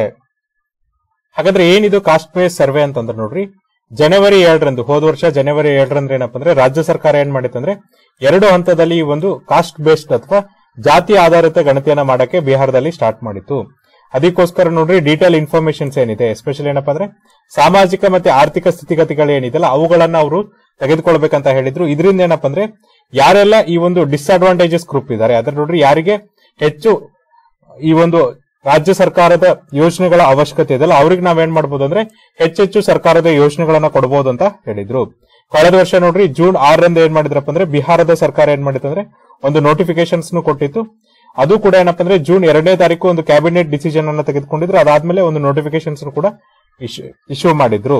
ಇದಾದ್ಮೇಲೆ ನೋಡ್ರಿ, ಈ ಸರ್ವೆ ಏನಿದೆಯಲ್ಲ, ಈ ಸರ್ವೆ ಏನ್ ಮಾಡುತ್ತಪ್ಪ ಅಂದ್ರೆ ಈ ಗಣತಿಯಲ್ಲಿ ಏನ್ ಮಾಡ್ತಾರೆ ಅಂದ್ರೆ ಒಂದು ದತ್ತಾಂಶವನ್ನ ಕಲೆಕ್ಟ್ ಮಾಡ್ತಾರೆ. ಎಸ್ಪೆಷಲಿ ಯಾವ್ದ್ರ ಬಗ್ಗೆ ಅಂದ್ರೆ ಸೋಶಿಯೋ ಎಕನಾಮಿಕ್ ಡಾಟಾ ಸಾಮಾಜಿಕ ಮತ್ತೆ ಆರ್ಥಿಕ ದತ್ತಾಂಶವನ್ನ ಇಲ್ಲಿ ಕಲೆಕ್ಟ್ ಮಾಡ್ತಾರೆ. ಬಿಹಾರದ ನೋಡ್ರಿ ಹನ್ನೆರಡು ಪಾಯಿಂಟ್ ಏಳು ಕೋಟಿ ಜನಸಂಖ್ಯೆಗೆ ಅವರೇನ್ ಮೂವತ್ತೆಂಟು ಡಿಸ್ಟಿಕ್ಸ್ಗಳಲ್ಲಿ ವಾಸ ಮಾಡ್ತಿದ್ರಲ್ಲ, ಅಲ್ಲಿ ದತ್ತಾಂಶವನ್ನ ಕಲೆಕ್ಟ್ ಮಾಡ್ತಾರೆ. ಆಮೇಲೆ ನೋಡ್ರಿ ಫಸ್ಟ್ ಫೇಸ್ ಆಲ್ರೆಡಿ ಸರ್ವೇದು ಈ ಗಣತಿಯ ಮೊದಲನೇ ಹಂತ ಮುಗ್ದಿದೆ. ಈ ಫಸ್ಟ್ ಸ್ಪೇಸ್ ಅಲ್ಲಿ ಏನೈತಪ್ಪ ಅಂದ್ರೆ ಹೌಸ್ ಲಿಸ್ಟಿಂಗ್ ಎಕ್ಸಸೈಸ್ ಅಂದ್ರೆ ಮನೆಗಳು ಯಾವ ತರನಾಗಿದೆ ಅಂತ ಮಾಡಬೇಕಿತ್ತು. ಅದನ್ನ ನೋಡ್ರಿ ಅವರು ಜನವರಿ ಏಳರಿಂದ ಹನ್ನೆರಡರವರೆಗೆ ಮಾಡಿದ್ರು. ಅದಾದ್ಮೇಲೆ ಏನಪ್ಪಾ ಅಂದ್ರೆ ರಾಜ್ಯ ಸರ್ಕಾರ ಈಗ ಎರಡನೇ ಹಂತ ಏನಿದೆ, ಆ ಎರಡನೇ ಹಂತದ ಮಧ್ಯದಲ್ಲಿತ್ತು. ಅವಾಗ ಏನ್ ಮಾಡ್ತಂದ್ರೆ ಈ ಒಂದು ಗಣತಿಗೆ ಸ್ಟೇ ಅನ್ನ ತೆಗೆದುಕೊಂಡ್ಬಂದ್ರು ಮೇ ನಾಲ್ಕನೇ ತಾರೀಕು ಏನ್ ಮಾಡಿದ್ರಪ್ಪ ಅಂದ್ರೆ ಸ್ಟೇ ಅನ್ನ ತೆಗೆದುಕೊಂಡ್ಬಂದ್ರು ಆದ್ರೆ ನೋಡ್ರಿ, ಈ ಒಂದು ಸ್ಟೇ ಏನ್ ತೆಗೆದುಕೊಂಡ್ ಬಂದಿದ್ರ ಆ ಸ್ಟೇಗೆ ಏನಪ್ಪ ಅಂದ್ರೆ ಈ ಪಟ್ನಾ ಹೈಕೋರ್ಟ್ ಏನ್ ಮಾಡಿದೆ ಅಂದ್ರೆ ಆ ಸ್ಟೇ ಅನ್ನ ಎಲ್ಲ ತಳ್ಳಿ ಹಾಕಿದೆ. ಜೊತೆಗೆ ಏನಪ್ಪ ಅಂದ್ರೆ ಎಲ್ಲಾ ಪೆಟಿಷನ್ಸ್ ಕೂಡ ಏನ್ ಮಾಡಿದೆ ಅಂದ್ರೆ ಡಿಸ್ಮಿಸ್ ಮಾಡಿದೆ. ಅಂದ್ರೆ ಆ ಎಲ್ಲೇನು ಈ ಗಣತಿಯ ವಿರುದ್ಧವಾಗಿ ಮನವಿಯನ್ನ ಮಾಡಿದ್ರಲ್ಲ, ಆ ಮನವಿನ ಎಲ್ಲ ತಳ್ಳಿ ಹಾಕಿದೆ. ಅದಾದ್ಮೇಲೆ ನೋಡ್ರಿ, ಆಗಸ್ಟ್ ಎರಡನೇ ತಾರೀಕು ಏನ್ ಮಾಡಿತ್ತಂದ್ರೆ, ರಾಜ್ಯ ಸರ್ಕಾರ ಅದರ ಕೆಲಸವನ್ನ ಸ್ಟಾರ್ಟ್ ಮಾಡಿತ್ತು. ಈ ಸೆಕೆಂಡ್ ಫೇಸ್ ಅಲ್ಲಿ ಏನ್ ಡಾಟಾವನ್ನ ಕಲೆಕ್ಟ್ ಮಾಡ್ತಾರಪ್ಪ ಅಂದ್ರೆ, ಎಷ್ಟು ಜಾತಿಗಳಿವೆ ಮತ್ತೆ ಎಷ್ಟು ಉಪಜಾತಿಗಳಿವೆ ಮತ್ತೆ ಯಾವ್ಯಾವ ಧರ್ಮಕ್ಕೆ ಸೇರಿದ್ದಾರೆ ಅನ್ನೋದ್ರ ಬಗ್ಗೆ ಏನ್ ಮಾಡ್ತಾರೆ ಅಂದ್ರೆ, ದತ್ತಾಂಶವನ್ನು ಇಲ್ಲಿ ಕಲೆಕ್ಟ್ ಮಾಡ್ತಾರೆ. ಆಮೇಲೆ ನೋಡ್ರಿ ಫೈನಲ್ ರಿಪೋರ್ಟ್ ಏನಿದೆ ಅಂದ್ರೆ, ಈ ಗಣತಿಯ ಫೈನಲ್ ವರದಿ ಏನಿದೆಲ್ಲ ಅದೇನಪ್ಪ ಅಂದ್ರೆ ಸೆಪ್ಟೆಂಬರ್ ಅಲ್ಲಿ ಬರೋದಿತ್ತು. ಅಂದ್ರೆ, ಈ ಲೋಕಸಭಾ ಎಲೆಕ್ಷನ್ ಎರಡ್ ಸಾವಿರದ ಇಪ್ಪತ್ನಾಲ್ಕು ಏನಿತ್ತು ಅದಕ್ಕಿಂತ ಮುಂಚೆ ಬರೋದಿತ್ತು ಅಂತ ಹೇಳಿದ್ರು. ಹಾಗಾದ್ರೆ ಈಗ ನೋಡ್ರಿ, ಜಾತಿ ಗಣತೆ ಯಾಕೆ ಬೇಕಾಗತ್ತಂದ್ರೆ, ಪ್ರತಿ ದಶಕಕ್ಕೊಮ್ಮೆ ನಾವು ಗಣತಿಯನ್ನ ಮಾಡ್ತೀವಿ, ಜನಗಣತಿಯನ್ನ ಏನ್ ಮಾಡ್ತೀವಲ್ಲ, ಈ ಜನಗಣತಿಯಲ್ಲಿ ಏನಪ್ಪ ಅಂದ್ರೆ ಯಾವುದೇ ತರನಾಗಿ ಜಾತಿ ಗಣತಿ ಇರೋದಿಲ್ಲ. ಸೊ ನೋಡ್ರಿ, ಇಲ್ಲಿ ಜಾತಿ ಗಣತಿ ಯಾವ್ದಕ್ಕಿರಲ್ಲ ಅಂದ್ರೆ, ಈಗ ಎಸ್ ಸಿ, ಎಸ್ ಟಿ ಜನ ಬಿಟ್ಟು, S T, S C, S T ಜನ ಬಿಟ್ಟು ಯಾವುದೇ ತರನಾದ ಗಣತಿ ಇಲ್ಲಿ ತೆಗೆದುಕೊಳ್ಳೋದಿಲ್ಲ ಅಂತ ಹೇಳ್ತಿದ್ರೆ ಈ ಒಂದು ಗಣತಿ ಇಲ್ಲದೆ ಇರೋದ್ರಿಂದ ನೋಡ್ರಿ, ನಮಗೆ ಪ್ರಾಪರ್ ಆಗಿ ಸಿಗಲ್ಲ. ಅಂದ್ರೆ ಈಗ ಒಬಿಸಿ ಜನಸಂಖ್ಯೆ ಎಷ್ಟಿದೆ? ನಮ್ಮ ದೇಶದಲ್ಲಿ ಈ ಇತರೆ ಹಿಂದುಳಿದ ವರ್ಗದವರು ಎಷ್ಟಿದ್ದಾರೆ? ಜೊತೆಗೆ ನೋಡ್ರಿ, ಇತರೆ ಹಿಂದುಳಿದ ವರ್ಗದಲ್ಲಿ ಎಷ್ಟು ಜನ ಏನಪ್ಪ ಅಂದ್ರೆ ಮತ್ತೆ ಅದರಲ್ಲಿ ಹಿಂದುಳಿದವರು ಇದ್ದಾರೆ ಅದ್ರ ಬಗ್ಗೆ ನಮಗೆ ಮಾಹಿತಿ ಸಿಗೋದಿಲ್ಲ. ಈ ಆಂಬಿಗ್ಯೂಟಿ ಏನಿದೆಲ್ಲ, ಇದನ್ನ ಸಾಲ್ವ್ ಮಾಡೋದಕ್ಕೋಸ್ಕರ ಏನ್ ಮಾಡ್ಬೇಕಪ್ಪ ಅಂದ್ರೆ, ಜಾತಿ ಗಣತಿಯನ್ನ ಮಾಡ್ಬೇಕಂತ ಹೇಳ್ತಿದ್ದಾರೆ. ಆದ್ರೆ ನೋಡ್ರಿ, ಕೇಂದ್ರ ಸರ್ಕಾರ ಏನ್ ಹೇಳುತ್ತಪ್ಪ ಅಂದ್ರೆ, ಇಷ್ಟೆಲ್ಲ ಇದ್ರೂ ಸಹ ಅವ್ರು ಏನ್ ಹೇಳ್ತಾರೆ ಅಂದ್ರೆ ಸೋಶಿಯೋ ಎಕನಾಮಿಕ್ ಕಾಸ್ಟ್ ಸೆನ್ಸಸ್ ಏನಿದೆಲ್ಲ ಅದನ್ನು ಮಾಡೋದು ಅಥವಾ ಸಾಮಾಜಿಕವಾಗಿ ಮತ್ತೆ ಆರ್ಥಿಕವಾಗಿ ಗಣತಿಯನ್ನ ಮಾಡೋದು ನಮಗೆ ಅನ್ಫೀಸಿಬಲ್ ಆಗಿದೆ. ಅದು ಏನಪ್ಪಾ ಅಂದ್ರೆ, ಆಡಳಿತಾತ್ಮಕ ದೃಷ್ಟಿಯಿಂದ ಬಹಳಷ್ಟು ಕಷ್ಟಪಟ್ಟ, ಕಷ್ಟವಾಗಿದೆ ಅಂತ ಹೇಳ್ತಿದ್ದಾರೆ. ನೋಡ್ರಿ ಇತ್ತೀಚೆಗೆ ಏನಪ್ಪಾ ಅಂದ್ರೆ ಒಂದು ರಿಟ್ ಪಿಟಿಷನ್ ಫೈಲ್ ಮಾಡಿದ್ರು ಸ್ಟೇಟ್ ಆಫ್ ಮಹಾರಾಷ್ಟ್ರದವರು ಮಹಾರಾಷ್ಟ್ರ ಸರ್ಕಾರದವರು. ಅದಕ್ಕೆ ಕೇಂದ್ರ ಸರ್ಕಾರ ರೆಸ್ಪಾನ್ಸ್ ಅನ್ನ ಮಾಡ್ಬೇಕಾದ್ರೆ ಏನ್ ಹೇಳಿದೆ ಅಂದ್ರೆ ತನ್ನ ಒಂದು ಅಫಿಡವಿಟ್ ಅಲ್ಲಿ ಈ ತರದ ಕಾಸ್ಟ್ ಸೆನ್ಸಸ್ ಅನ್ನ ಮಾಡೋದು. ಎಸ್ಪೆಷಲಿ ಏನಪ್ಪ ಅಂದ್ರೆ ಎಸ್ ಸಿಸ್ ಅನ್ನ ಬಿಟ್ಟು ಎಸ್ ಸಿಸ್ ಮತ್ತೆ ಎಸ್ ಅನ್ನ ಬಿಟ್ಟು ಬೇರೆ ತರದಂತ ಜಾತಿ ಗಣತಿಯನ್ನ ಮಾಡದೇ ಇರೋದಕ್ಕೆ ಏನಪ್ಪಾ ಅಂದ್ರೆ ನಾವು ಕಾನ್ಸಿಯಸ್ ಪಾಲಿಸಿ ಡಿಸಿಷನ್ ಅನ್ನ ತೆಗೆದುಕೊಂಡಿದೀವಿ ಅಂದ್ರೆ ನೋಡ್ರಿ ಎಸ್ ಸಿ ಎಸ್ ಟಿ ಜಾತಿ ಗಣತಿಯನ್ನ ಮಾತು ಮಾಡಬೇಕು. ಅದು ಬಿಟ್ಟು ಬೇರೆ ಏನು ಜಾತಿಗಳಿದೆಯಲ್ಲ, ಆ ಜಾತಿಗಳದ್ದು ಏನಪ್ಪಾ ಅಂದ್ರೆ ಗಣತಿಯನ್ನ ಮಾಡಬಾರ್ದು ಅಂತ ಹೇಳಿ ನಾವೇನಪ್ಪ ಅಂದ್ರೆ ಪ್ರಜ್ಞಾಪೂರ್ವಕವಾಗಿ ಒಂದು ಯೋಜನೆ ಒಂದು ಡಿಸಿಷನ್ ಅನ್ನ ತೆಗೆದುಕೊಂಡಿದೀವಿ ಅಂತ ಹೇಳಿದ್ದಾರೆ. ಅದಕ್ಕೋಸ್ಕರ ನೋಡ್ರಿ ಹತ್ತೊಂಬತ್ ನೂರ ಐವತ್ತೊಂದರಿಂದ ಏನ್ ಗಣತಿ ಮಾಡ್ತಿದ್ರಲ್ಲ, ಆ ಗಣತಿಯಲ್ಲಿ ಏನ್ ಮಾಡಿದ್ರ ಅಂದ್ರೆ ಈ ಅಫಿಷಿಯಲ್ ಡಿಸ್ಕರೇಜ್ಮೆಂಟ್ ಅಂದ್ರೆ ನೋಡ್ರಿ, ಜಾತಿ ಅನ್ನೋದನ್ನ ತೊಲಗಿಸ್ಬೇಕಂತ ಹೇಳಿ ಏನಪ್ಪ ಅಂದ್ರೆ ನಾವು ಅಫಿಷಿಯಲ್ ಆಗಿ ಏನಪ್ಪ ಅಂದ್ರೆ ಹತ್ತೊಂಬತ್ ನೂರ ಐವತ್ತೊಂದರಿಂದ ಈ ಒಂದು ಪದ್ಧತಿಯನ್ನ ಅಳವಡಿಸ್ಕೊಂಡ್ ಬಂದಿದ್ವಿ ಇಲ್ಲಿ ಎಸ್ ಸಿ, ಎಸ್ ಟಿ ಮಾತ್ರ ನಾವೇನ್ ಮಾಡ್ಬೇಕಂದ್ರೆ ಜಾತಿ ಗಣತಿಯನ್ನ ಮಾಡಬೇಕು. ಬಿಟ್ಟು ಬೇರೆ ಕ್ಯಾಟಗರೀಸ್ ಏನಿದೆ ಒಬಿಸಿ ಇರ್ಬೋದು, ಆಮೇಲೆ ಬೇರೆ ಬೇರೆ ಸಬ್ ಕ್ಯಾಟಗರೀಸ್ ಜಾತಿ ಮಾಡ, ಜಾತಿ ಗಣತೆ ಮಾಡ, ಮಾಡದೇ ಇರೋದಕ್ಕೆ ನಾವೇನಪ್ಪ ಅಂದ್ರೆ ಪ್ರಜ್ಞಾಪೂರ್ವಕವಾಗಿ ಒಂದು ಯೋಜನೆಯನ್ನ ಅಥವಾ ಡಿಸಿಷನ್ ಅನ್ನ ತೆಗೆದುಕೊಂಡಿದ್ದೀವಿ ಅಂತ ಹೇಳಿದ್ದಾರೆ. ಇದಾದ್ಮೇಲೆ ನೋಡ್ರಿ, ಕೇಂದ್ರ ಸರ್ಕಾರ ಏನಪ್ಪ ಅಂದ್ರೆ ಎರಡ್ ಸಾವಿರದ ಹನ್ನೊಂದರಲ್ಲಿ ಒಂದು ಗಣತಿಯನ್ನ ಮಾಡಿತ್ತು ಜಾತಿ ಗಣತಿಯನ್ನ ಮಾಡಿತ್ತು. ಅದರಲ್ಲಿ ಅವ್ರು ಏನ್ ಮಾಡಿದ್ರು ಅಂದ್ರೆ ಸಾಮಾಜಿಕ, ಆರ್ಥಿಕ ಪರಿಸ್ಥಿತಿ ಏನಿದೆ, ಯಾವ್ಯಾವ ಕಾಸ್ಟ್ ಏನಿದೆ ಅಂತ ಅವ್ರು ತೆಗೆದುಕೊಂಡಿದ್ರು. ಆದ್ರೆ ನೋಡ್ರಿ, ಈ ಡಾಟಾವನ್ನ ಏನ್ ಕಲೆಕ್ಟ್ ಮಾಡಿದ್ರು ಅಂದ್ರೆ ನೂರ್ ಮೂವತ್ತು ಕೋಟಿ ಜನಸಂಖ್ಯೆ ಒಂದು ದತ್ತಾಂಶವನ್ನ ಏನ್ ಕಲೆಕ್ಟ್ ಮಾಡಿದ್ರಲ್ಲ, ಅದನ್ನ ಯಾವುದೇ ಕಾರಣಕ್ಕೆ ಏನಪ್ಪ ಅಂದ್ರೆ ಪಬ್ಲಿಕ್ ಮಾಡ್ಲೇ ಇಲ್ಲ. ಈ ಡಾಟಾವನ್ನ ಏನಪ್ಪಾ ಅಂದ್ರೆ ಸಾರ್ವಜನಿಕರಿಗೆ ಇಡ್ಲೇ ಇಲ್ಲ. ಯಾಕಂದ್ರೆ ನೋಡ್ರಿ, ಈ ದತ್ತಾಂಶದಲ್ಲಿ ಏನಪ್ಪ ಅಂದ್ರೆ ಬಹಳಷ್ಟು ಲೂಫ್ ಹೋಲ್ಸ್ ಗಳಿರೋದ್ರಿಂದ ಏನಪ್ಪ ಅಂದ್ರೆ ಆ ಡಾಟಾವನ್ನ ಸಾರ್ವಜನಿಕರಿಗೆ ಕೊಡ್ಲೇ ಇಲ್ಲ. ಜೊತೆಗೆ ನೋಡ್ರಿ, ಮುಂಚೆನೂ ಕೂಡ ಏನಪ್ಪಾ ಅಂದ್ರೆ ಒಂದು ಜಾತಿ ಆಧಾರದ ಮೇಲೆ ಒಂದು ವರದಿ ಬಂದಿತ್ತು ಅಂತ ಹೇಳ್ತಿದ್ರೆ ಅದಕ್ಕೆ ಉದಾಹರಣೆ ಏನಪ್ಪಾ ಅಂದ್ರೆ ಮಂಡಲ್ ಕಮಿಷನ್ ವರದಿ ಅಂತ ಹೇಳ್ತಿದ್ದಾರೆ. ನೋಡ್ರಿ ಆಗಸ್ಟ್ ಹದಿಮೂರು ಹತ್ತೊಂಬತ್ ನೂರ ತೊಂಬತ್ತೊಂದು ತೊಂಬತ್ತರಂದು ಏನಪ್ಪ ಅಂದ್ರೆ ವಿ ಪಿ ಸಿಂಗ್ ಸರ್ಕಾರ ಏನ್ ಮಾಡುತ್ತೆ ಅಂದ್ರೆ ಒಂದು ನಿರ್ಧಾರವನ್ನ ತೆಗೆದುಕೊಳ್ಳುತ್ತೆ. ಈ ಮಂಡಲ್ ಕಮಿಷನ್ ರಿಪೋರ್ಟ್ ಏನ್ ಬರುತ್ತೆ, ಅಥವಾ ಮಂಡಲ್ ಆಯೋಗದ ವರದಿ ಏನ್ ಬರುತ್ತಲ್ಲ ಅದನ್ನ ಇಂಪ್ಲಿಮೆಂಟ್ ಮಾಡಕ್ಕೆ. ಸೊ ನೋಡ್ರಿ ಈ ಒಂದು ವರದಿ ಪ್ರಕಾರ ಏನ್ ಮಾಡ್ತಾರೆ ಅಂದ್ರೆ ಇಪ್ಪತ್ತೇಳು ಪರ್ಸೆಂಟ್ ರಿಸರ್ವೇಶನ್ ಅನ್ನ ನೀವು ಇತರ ಹಿಂದುಳಿದ ವರ್ಗಗಳಿಗೆ ಕೊಡಬೇಕಂತ ಹೇಳ್ತಾರೆ.